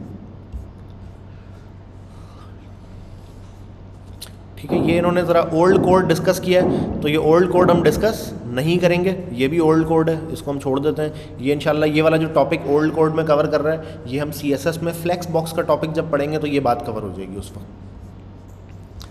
ठीक है three rule of creating image save image in the right format अभी फॉर्मेट का अभी तक हमने ज़िक्र नहीं किया। Save image at the right size right size का हमने ज़िक्र कर लिया है कि जी एग्जैक्ट वही पिक्सल होने चाहिए इमेज के जो मुझे चाहिए, लेकिन वो करना कैसे अभी वो हमने नहीं देखा। ठीक है यूज़ द करेक्ट रेजोल्यूशन तो ये जी हमने अभी ना साइज़ देख लिया और फॉर्मेट अब ज़रा देख लेते हैं कि क्या है। सर ये पीसी पे पूरे पूरे पेज पे अगर शो करना मतलब कि जैसे ये लैपटॉप के हाँ। उसके लिए भी अलग से साइज़ होता है कि ये इस साइज़ की इमेज होगी। देखें वो तो स्क्रीन का साइज़ तो वेरिएबल होता है ना फिक्स नहीं होता कभी भी। तो उसके लिए हम क्या करते हैं कि या तो हम बना लेते हैं चार पाँच अलग अलग इमेजेस कि छोटी छोटी होगी तो ये दिखा दो, फिर बड़ी हो तो थोड़ी ये दिखा दो, फिर उससे बड़ी हो तो ये दिखा दो। एक तो ये तरीका है। दूसरा तरीका ये है, जैसे फेसबुक करता है। फेसबुक क्या करता है? दोनों साइडों पे एमटी स्पेस छोड़ता है। ठीक है? तो हज़ार पिक्सल वो दिखाता है। अब हज़ार पिक्सल की अगर स्क्रीन है तो कोई जगह नहीं साइड में छोटी होती।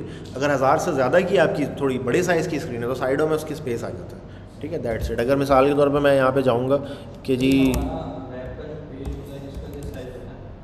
वेब के पेज का कोई साइज़ नहीं होता स्क्रीन का साइज़ होता है। ठीक है, ये आप देखें, ये मैंने एम इन जमाम मलिक ये लिख दिया यहाँ पे। ठीक है? अभी क्या हो गया? ब्लॉक किया हुआ है क्या इसको आज?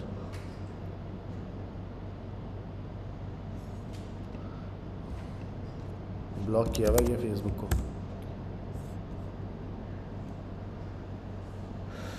वेल यार, हम अलग से लिख लेते हैं फेसबुक आज बंद है ना?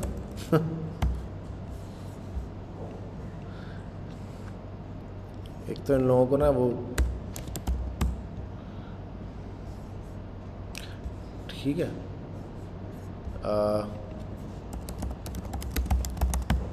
प्रोफ़ाइल पेज अब देखिए प्रोफ़ाइल पेज में क्या होता है? आपने ये इस तरह से देखा होगा वाइट वाइट स्पेस साइड में आ रहा होता है। तो ये डिपेंडिंग ऑन कि आपकी स्क्रीन का साइज़ अगर हज़ार पिक्सल से कितना बड़ा है तो ये आपकी साइड में इस तरह से स्पेस आ जाता है। ठीक है।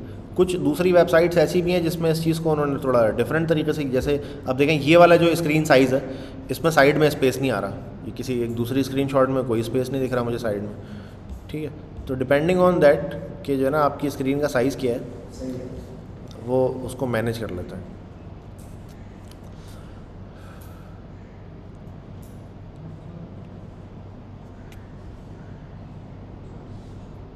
Well well.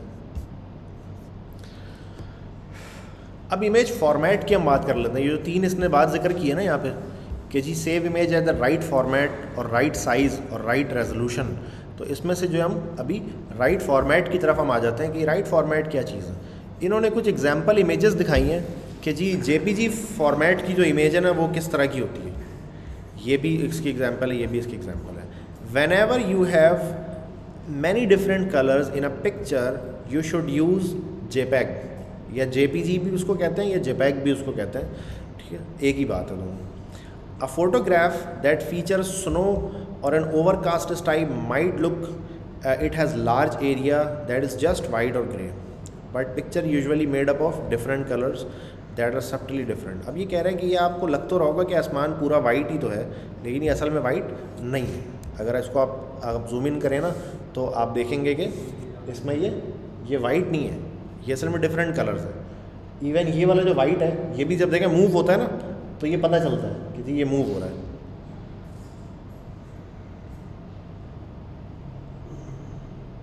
आप देखें सबटली डिफरेंट है तो दिस इज़ नॉट वाइट ये हर पिक्सल का एक अपना कलर है। इमेज ये जो इस तरह की इमेज होती है पिक्सल से मिलके बनी होती है, हर पिक्सल का एक अपना कलर होता है। ठीक है जी। तो यहाँ पे अभी आप देखें, आपको लग रहा है कि जी ये ब्लैक है बट ये ब्लैक नहीं है। ये डिफरेंट डिफरेंट कलर्स हैं। ये जो ग्रेडियंट है, इसमें से लाइट निकल रही है और लाइट में ये हर पिक्सल का जो है ना, एक एक डिफरेंट कलर है यहाँ इस कोने तक। ठीक है जी। अच्छा ये जो धागों की फ़ोटो है, इसमें भी कुछ इसी तरह का है। तो कैमरे से खींची गई जितनी भी फ़ोटो होगी, वो जेपीजी फॉर्मेट उसके लिए बेस्ट है इस वक्त। अभी तो वैसे कुछ नए फॉर्मेट भी आ गए एच ई आई सी करके एक आ गया वो। एच ई वी सी और एच ई आई सी करके। आ गया वो। लेकिन अभी उसकी बात नहीं करते हम अभी जे पी जी है वो स्टैंडर्ड राइज है जो नए वाले फॉर्मेट है उसको राइज होते होते अभी लगेगा टाइम दो चार साल और लगेंगे उसको। ठीक है ये दो एग्ज़ाम्पल तीन एग्ज़ाम्पल और आ गई है। ये वाली एग्ज़ाम्पल भी क्या है? आ, इसी की एग्ज़ाम्पल है। यार जाके ना एक बता दें कि डिस्टर्बेंस होगी क्लास में।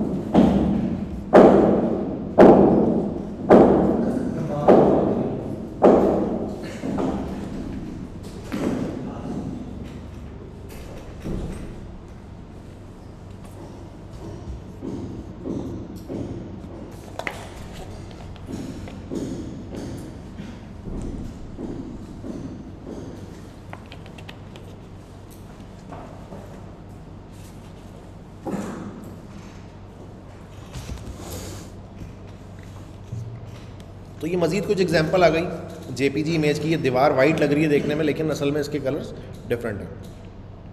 तो ये सारी जेपीजी इमेज की जो ना एग्जांपल हो गई। अब उसके बाद आ गया जिफ इमेज जिफ इमेज की ये कुछ एग्जांपल्स दिखाई जा रही हैं अब। और इसके बारे में उन्होंने लिखा है कि जी यूज़ जिफ इमेज और PNG image format when saving image with few colours जिसमें कलर कम हो, थोड़े कलर हो इसमें और large area of the same colour आप अब इसमें देखें large area of the same colour वाली ना, ये पूरा रेड है। इसमें हर पिक्सल का कलर अलग नहीं है। ठीक है? अलग हमें नहीं चाहिए। हमें ये रेड ही चाहिए।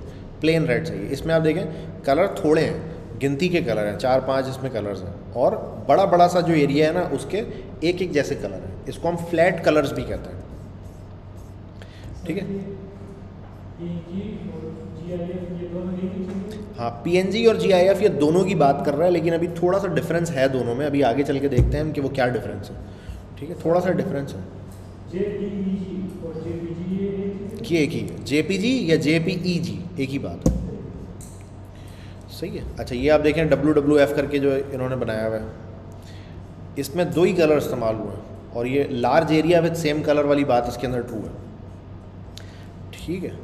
देखिए यहाँ पे इन्होंने क्या बात की। When a picture has a area that is filled with exactly same colour it is also known as flat colour logos illustration and diagrams यानी जो इस तरह की चीज़ें होती हैं ना लोगो होते हैं, कोई आप इलस्ट्रेशन यानी कोई ड्राइंग बना के दिखाई हुई है, ठीक है, ये डायग्राम्स होते हैं। तो ऑफन यूज़ फ्लैट कलर्स ये इस तरह की चीज़ों में अक्सर फ्लैट कलर का इस्तेमाल हुआ हुआ होता है। Note that photo of snow sky and grass are not flat colours वो स्काई का जो फ़ोटो थी वो फ्लैट नहीं था। ये वाला फ्लैट है। अच्छा जी। इस तरह के सर अगर पिक्चर होगी तो उसको हम इसमें पीएनजी में या जिफ में इसको रखेंगे तो इसका जो साइज़ है ना वो ऑप्टिमम आएगा। ठीक है? अगर मिसाल के तौर पे ये वाली इमेज है ना ये वाली इमेज है इसको अगर मैं जेपीजी में करूँगा तो इसका साइज़ आएगा 300 पिक्सल और इसी को अगर मैं PNG में करूँगा ना तो इसका साइज़ आएगा तीस चालीस के बी सॉरी तीन सौ के बी और तीस चालीस के बी इस इमेज को अगर मैं जे में करूँगा तो इसका साइज़ आएगा तीन सौ लेकिन इस इमेज को अगर मैं पीएनजी या जिफ में करूँगा तो इसका साइज़ आना चाहिए तीस या चालीस के तो इतना बड़ा डिफरेंस आ जाता है इमेज के फॉर्मेट को चेंज करने से। ठीक है? अच्छा जी। अभी वो हम एक्सपेरिमेंट करके भी देखेंगे उसका। एक्सपेरिमेंट हम करके देखेंगे बाकायदा इसका। अच्छा जी, अब ये कह रहा है कि कोई इमेज अगर वो बड़े साइज़ की है तो उसको छोटा करने का क्या तरीका है? उसको क्रॉप कर दिया जाए। क्रॉप हमेशा करना पॉसिबल नहीं होता है। क्रॉप करने से कभी कभी डिटेल मिस हो जाती है। लेकिन हमारे पास एक और बेहतर तरीका है। बग़ैर क्रॉप किए भी हम इमेज का साइज़ छोटा कर सकते हैं। ठीक है? हम उसको क्या कर सकते हैं? उसके पिक्सल्स रिड्यूस कर देते हैं। हम फोटोशॉप के अंदर उसका ऑप्शन होता है। ठीक है? इमेज रेजोल्यूशन रेजोल्यूशन क्या होती है? 72 पिक्सल पर इंच होती है, लेकिन इसकी आपको टेंशन लेने की ज़रूरत नहीं है, क्योंकि आमतौर पर जो स्टॉक फ़ोटोज़ आप डाउनलोड करेंगे, वो by default 72 pixel per inch पे ही होती है। ठीक है? अच्छा तो इन्होंने यहाँ पे बताया कि जी वो जो आपका तीन सौ जो होता है, वो प्रिंट के लिए होता है, और 72 पिक्सल जो है वो पर इंच जो होता है वो स्क्रीन पे दिखाने के लिए होता है। आपने हमेशा स्क्रीन पे 72 पिक्सल पर इंच की फ़ोटो दिखानी है। इससे ज़्यादा आप रेजोल्यूशन की इमेज दिखाएँगे तो उसका स्क्रीन पे कोई ऐसा ऑप्टिमम इफ़ेक्ट नहीं मिलेगा। ठीक है? इससे ज़्यादा की भी अगर इमेज होती है ना तो वो दिखने में सेम ही होती है स्क्रीन के ऊपर। तो ये हो गई बात। अच्छा एक होते हैं वेक्टर इमेजेस एक होता है रास्टर इमेज रास्टर इमेज क्या होता है कि जी, वो पिक्सल से मिलके बना होता है। अच्छा एक होता है वेक्टर इमेज वेक्टर इमेज में क्या होता है? पिक्सल्स नहीं होते। ठीक है? इसमें होती है एंगल्स और डिग्रीज होती हैं इसमें। अब आप ये देखें, इसमें असल में क्या सेव हुआ हुआ है? इसमें ये पॉइंट्स सेव हुए हैं कि जी, इस पॉइंट से शुरू हुआ और फिर ये एक आर्क यहाँ लगा हुआ है, फिर एक आर्क यहाँ तक लगा हुआ है, फिर एक आर्क यहाँ लगा हुआ है। इसको अंदर से फिल इस कलर से कर दिया दैट से तो ये इसमें ये डिटेल सेव हुई भी होती है, बजाय पिक्सल्स के ना, इसमें इस तरह से ज्योमेट्रिकल शेप्स होती हैं असल में ये।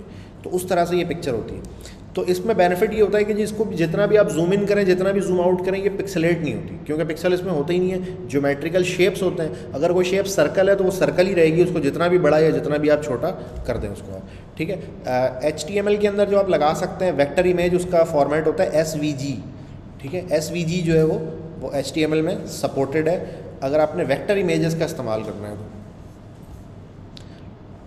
ठीक है जी। उसके अलावा एनिमेटेड जिफ भी हो सकती है। एनिमेटेड जिफ के बारे में उन्होंने बताया कि जी, वो कुछ भी नहीं होता।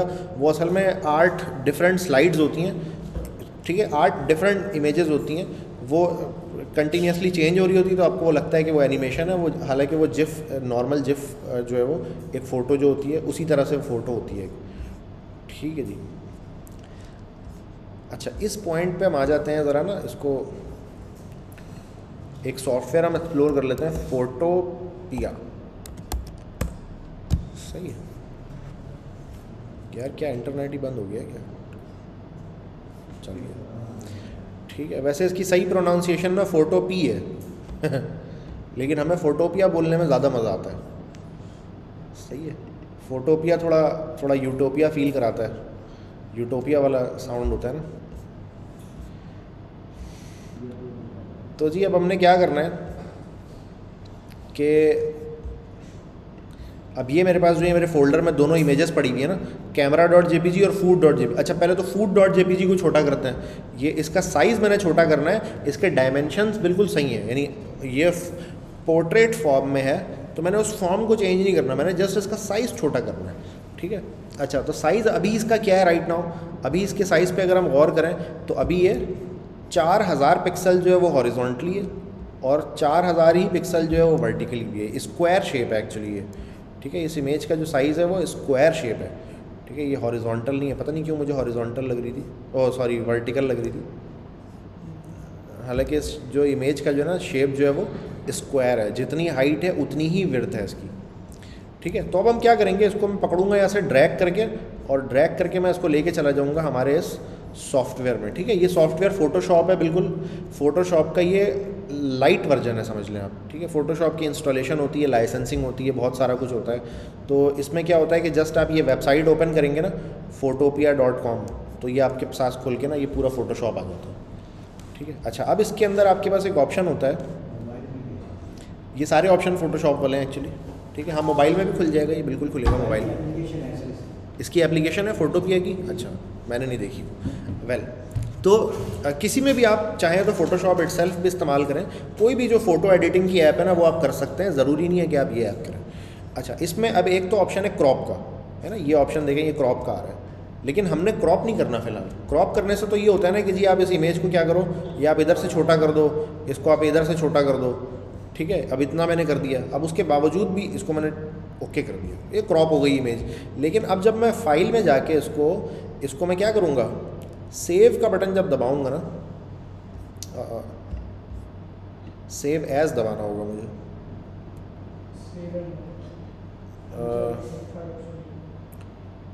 Save as export as export as होगा एक्चुअली ये।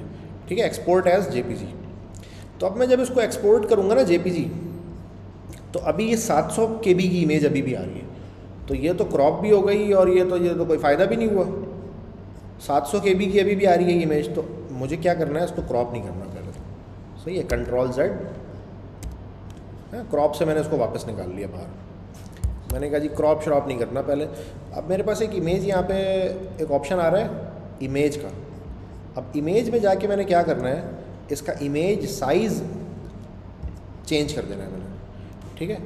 मैंने क्या करना है, इसको 500 पिक्सल बाई 500 पिक्सल पे लाना है। तो मैंने कहा भाई 500 पिक्सल और ये 500 पिक्सल लिख के जैसे ही मैं बाहर क्लिक करूँगा ना तो ये दूसरे को भी अकॉर्डिंगली उसके सही कर देगा।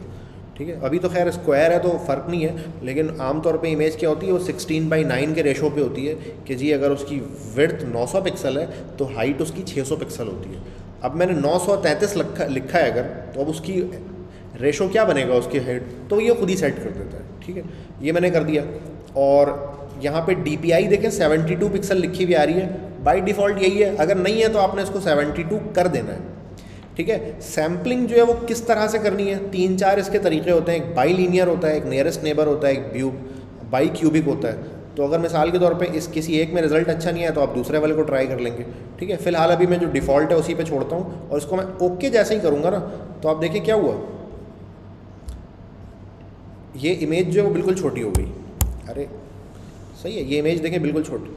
क्या पकड़ लिया मैंने? अच्छा ये क्रॉप टूल पकड़ा हुआ है ना मैंने। हाँ नहीं मैंने ये क्रॉप टूल पकड़ा हुआ है इसलिए।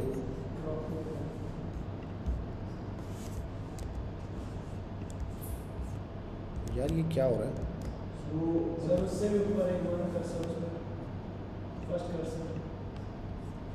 नहीं ये स्क्वायर क्यों बन के आ गया इस पर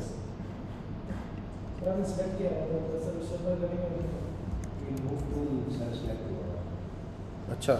बिल्कुल फ़र्स्ट बटन फ़ाइल के नीचे ये तो इधर वही फ़ोटो बनी आ जाती। है ये तो इधर वही फ़ोटो बनी हुई आ जाती है जो पकड़ा हुआ होता है बंदे में। अच्छा अभी ये सही हो गया अभी सही हो गया। ये सिलेक्शन टूल असल में ये पकड़ के रखा हुआ है बाई डिफ़ॉल्ट ये है मूव टूल जो टॉप पे वेल तो क्या हुआ था ये? सही नहीं हुआ ना। दोबारा इमेजेस में जाता हूँ मैं और इसका इमेज साइज़ में चेंज करता हूँ। मैंने कहा भाई 500 और बाई 500 और ओके। ठीक है इमेज का साइज़ मेरा छोटा हो गया। ठीक है 500 पिक्सल पे हो गया इमेज का साइज़ अब मैं क्या करूँगा, इसको फ़ाइल पे जाऊँगा। इस इमेज को मैंने एक्सपोर्ट हमेशा किसमें करना है?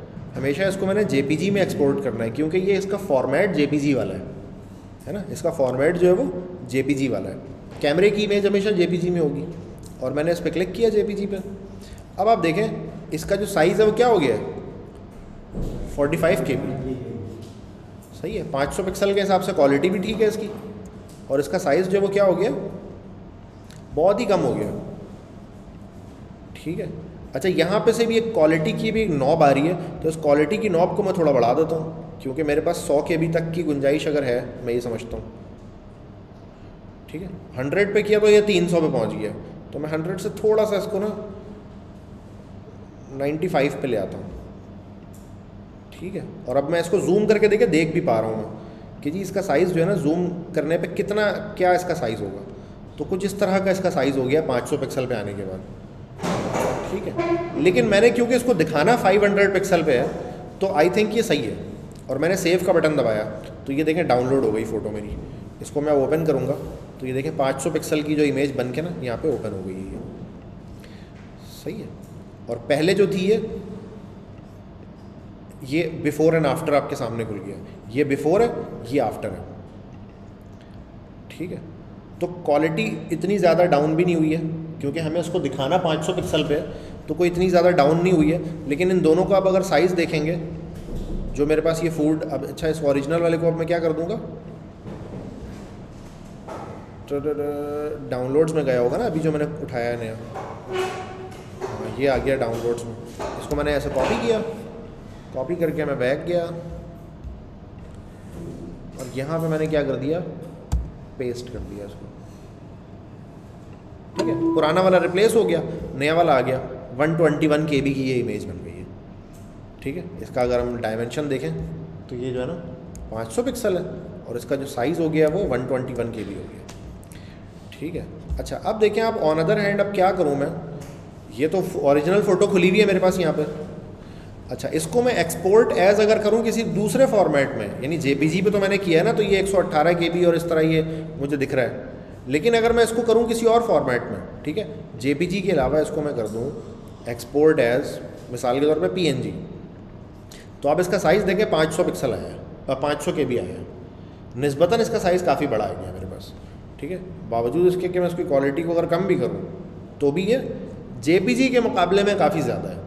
ठीक है? जेपीजी के मुकाबले में ये साइज़ काफ़ी ज़्यादा है। अच्छा इस इमेज में शायद इतना डिफरेंस नहीं आ रहा, लेकिन कुछ इमेजेस में बहुत डिफरेंस आ जाता है। आसमान, ज़मीन का डिफरेंस आ जाता है इतना। मतलब जो इमेज जेपीजी के अंदर जो 300 सौ के या 200 सौ के की होती है, वो पीएनजी में अगर आप करते हैं तो समटाइम दो एम तक चली जाती है।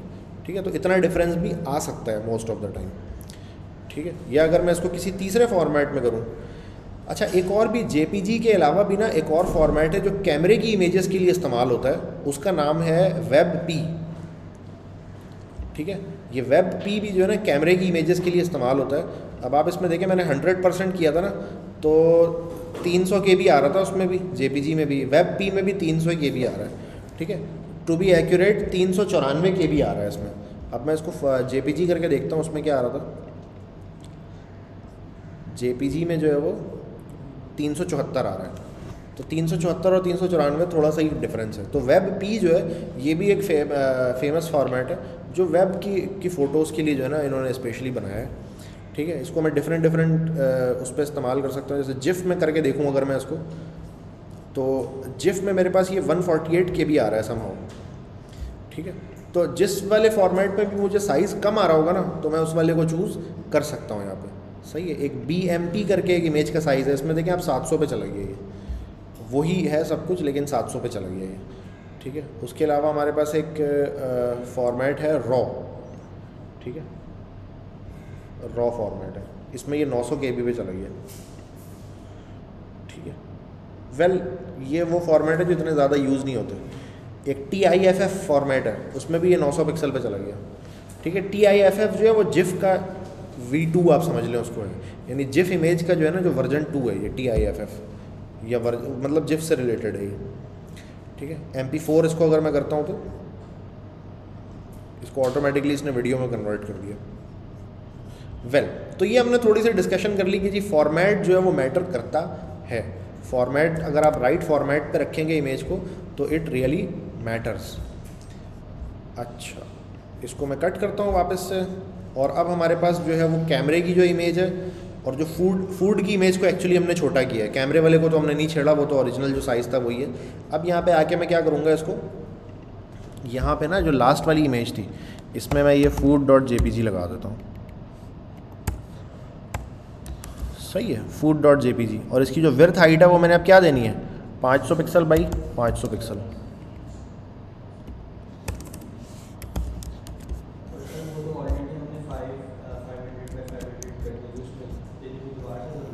हाँ वो देने की ज़रूरत है। ये तो हमेशा मुझे देना है। विर्थ हाइट ना मुझे हमेशा देना है। वो फॉर द रीज़न कि वो उस उतनी जगह छोड़ दे वो पहले ही। तो इस वजह से मैंने देना है। अगर मैं वो नहीं दूँगा ना तो ये दोनों चपक के आ जाएँगे। ये दोनों पैराग्राफ यूँ चपके पे आ जाएँगे शुरू में। ठीक है जी।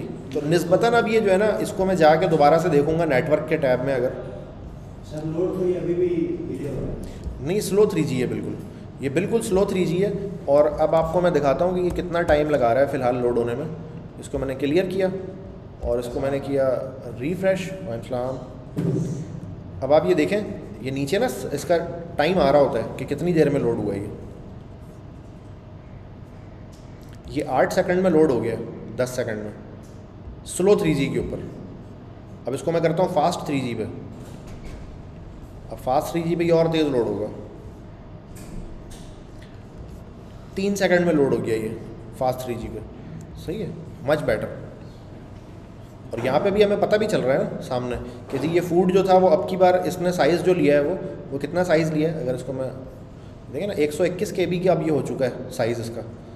तो मच बेटर साइज़ ठीक है? दो एम बी और 121 के बी बहुत डिफरेंस है दोनों और अगर मैं इसका ये हटा दूँ, अगर नो थ्रॉटलिंग कर दूँ तो नो थ्रॉटलिंग में तो उस वक्त भी बहुत फास्ट इमेज लोड हो रही थी। तो ये नो थ्रॉटलिंग में तो ये मतलब ग्लिम्स है। यानी नो थ्रॉटलिंग का मतलब है कि 16 एम का इंटरनेट जो भी अवेलेबल है मेरे पास, उस स्पीड पे उसको डाउनलोड करेगा ये ठीक है जी, वापस आ जाते हैं हम अपनी बुक पे।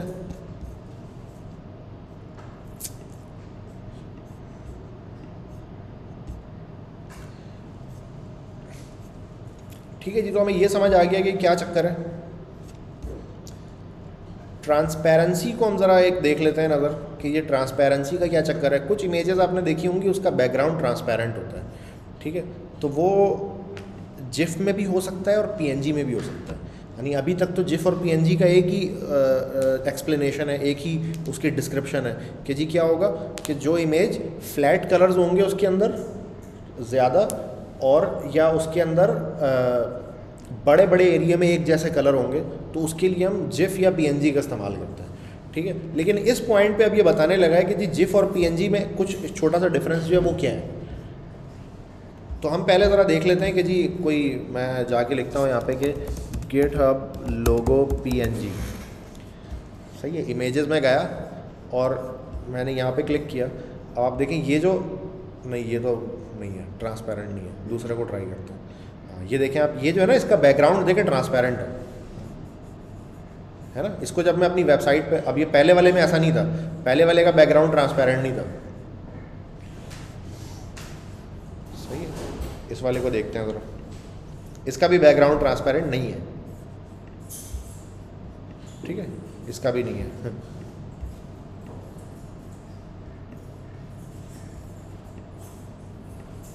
इसका भी नहीं है। ये क्विक क्विक है कहीं, इसको बैकग्राउंड ट्रांसपेरेंट चेक करने का, कि इसको आप ऐसे मूव करते हैं ना, देखें इसका बैकग्राउंड ट्रांसपेरेंट है। रहे हैं अच्छा किसी भी चीज़ का आप लोगो लिखेंगे ना, मैंने कहा कि जी फेसबुक का जो लोगो लिख लेते हैं तो ये इसमें भी जो ट्रांसपेरेंट वाले आपको मिल जाते हैं। देखें इसका बैकग्राउंड ट्रांसपेरेंट है, यानी बिल्कुल एजेस पे आप देखें एजेस वाली जो जगह है वो ट्रांसपेरेंट है इसकी। ठीक है? ये देख लेते हैं ज़रा हम। देखें, ये भी साइडों से ना एजेस इसके ट्रांसपेरेंट हैं। तो ये इस तरह की जो इमेज होती है, ये जिफ में भी हो सकती है, ये पी में भी हो सकती है। ठीक है? अच्छा अब यहाँ पे इन्होंने जो बताया ना कि जी if the transparent part of the image has straight edges and it is hundred percent transparent that is not semi opaque मतलब ऐसा नहीं हो कि वो थोड़ा आधा दिख भी रहा हो पीछे का और आधा कम, अभी तक हमने जो देखा है वो हंड्रेड परसेंट ट्रांसपेरेंट थे ठीक है? You can save the image as GIF with the transparency option selected. ठीक है? वो जिफ को सेव करते हुए एक चेक बॉक्स आ रहा होता है कि कीप द ट्रांसपेरेंट या वो ट्रांसपेरेंट वाले पार्ट को सफ़ेद कर दे। तो वो उस पर चेक लगा के नहीं वो आ रहा होता है फोटोशॉप के अंदर भी। तो ये जिफ की इसने एक्सप्लेनेशन बता दी कि जी जिफ में क्या होगा? वो ऊपर वाली एक्सप्लेनेशन अपनी जगह है। ये सेकंड इसने बात बताई कि 100 परसेंट ट्रांसपेरेंट होना चाहिए और उसके जो स्ट्रेट एजेस होने चाहिए। ठीक है? स्ट्रेट एजेस उसके होने चाहिए। आ, नीचे इन्होंने एक एग्जांपल भी उसकी दे के बताइए कि जी स्ट्रेट एजेस का मतलब है कि या तो ऐसे होना चाहिए खड़े में या तो बैठ। अब इसके एजेस पे अगर आप गौर करें तो देखें एजेस इसकी यूँ देखें बिल्कुल सीधा है। और ये वाला जो एज है वो बिल्कुल यूँ सीधा है। और ये बिल्कुल यूँ सीधा है। कोई राउंड शेप नहीं है इसके अंदर कोई इसके अंदर डायगोनल शेप नहीं है कोई इसके अंदर सर्कुलर शेप नहीं है। ये बिल्कुल मतलब आ, इसको आप क्या कहेंगे? हॉरिजॉन्टल और वर्टिकल पे ना सीधे सीधे इसके एजेस हैं। ठीक है? ये बिल्कुल स्क्वायर बॉक्स भी हो सकता था एक। तो या ये कोई एल शेप भी हो सकता था। लेकिन स्ट्रेट एजेस की बात हो रही है।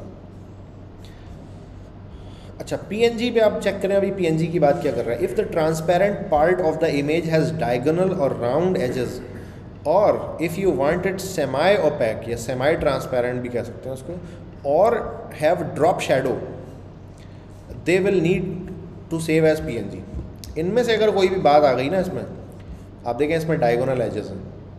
ठीक है, या राउंड एजेस हैं, या सेमाई ट्रांसपेरेंट है, या तीनों चीज़ें एक साथ भी हो सकती हैं। ठीक है, या उसमें ड्रॉप शेडो है पीछे, कि जी हल्का सा पीछे शेडो आता है। तो उस केस में फिर क्या होगा कि इसके लिए पीएनजी फॉर्मेट का होना ज़रूरी है। ठीक है P N G transparent P N Gs are not fully supported in older browsers जो बहुत ज़्यादा पुराने, ये बुक 2009 में लिखी गई है गालबन। तो 2009 के वक्त इसने कहा था कि जो पुराने ब्राउज़र हैं तो अभी के हिसाब से तो वो, ये शायद एप्लीकेबल नहीं रहा नॉट एनी मोर कि इंटरनेट एक्सप्लोरर सिक्स की बात कर रही है, वो तो नहीं अब इस्तेमाल होता कहीं पे भी। तो इंटरनेट एक्सप्लोरर सिक्स जैसे ब्राउज़र में ना, ये पीएनजी की पूरी सपोर्ट उस वक्त तक नहीं आई थी, जब ये बुक लिखी जा रही थी। ठीक है एग्जामिनिंग द इमेज में ये कह रहे हैं कि जी अच्छा वो राइट क्लिक करके आप प्रॉपर्टीज़ में जाके ना उसका साइज़ वगैरह आपने कैसे देखना है कि जी अभी राइट नाउ उस इमेज का जो साइज़ है और वो जो आ, उसका जो डीपीआई वगैरह वो क्या है? ठीक है H T M L five में फिगर कैप्शन करके भी एक टैग इन्होंने दिया है। आमतौर पर वेबसाइट पे जो इमेज लगती है वो क्या होता है कि एक इमेज होगी उसके नीचे वन लाइनर होगा एक। तो उस पर इन्होंने कहा कि जी अच्छा आप ऐसे करके लगा लो। ये सीमेंटिक टैग है फिगर कैप्शन करके लगाएँ आप या नॉर्मली उसके नीचे आप एक पैराग्राफ लिख दें एक ही बात है वो। ठीक है, स्क्रीन पे वो आपको एक ही तरह से दिखेगा। लेकिन ये जो फिगर कैप्शन है, ये सीमेंटिक टैग है, ठीक है? जब आपका कोई मशीन आपकी वेबसाइट को रीड करने आएगी या कोई स्क्रीन रीडर रीड करने आएगा तो उसको जब इमेज के नीचे जो है ना, ये जो लाइन लिखी हुई नज़र आ रही है, वो उसको समझ आ जाएगा कि अच्छा जी, ये इस इमेज का कैप्शन है ये, ठीक है? इमेज का कैप्शन क्या होता है? कि जी, आप इमेज को कोई नाम देते हैं या इमेज के बारे में आप कोई बात लिखते हैं, ठीक है? तो उसको हम कहते हैं कि ये कैप्शन है जी इस इमेज में। ठीक है फिगर कैप्शन आप ये लगा के देखेंगे, बहुत ईजी है, कोई इसमें रॉकेट साइंस नहीं है इतनी ना। ठीक है जी, यहाँ पे ये चैप्टर हमारा जो है वो कंप्लीट हो गया और इसकी समरी को पढ़ लें ज़रा पाँच मिनट में आप लोग। और आज की क्लास को हम यहीं तक रखते हैं। इन फिर आप लोगों से मुलाकात रहेगी।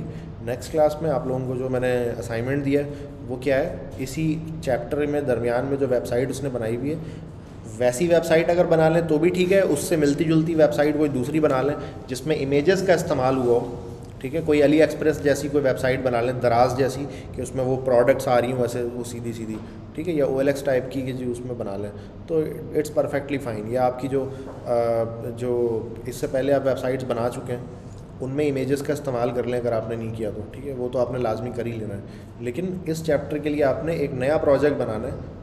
कोई सा भी बनाएँ आप इमेजेस के साथ आपने बनाना है।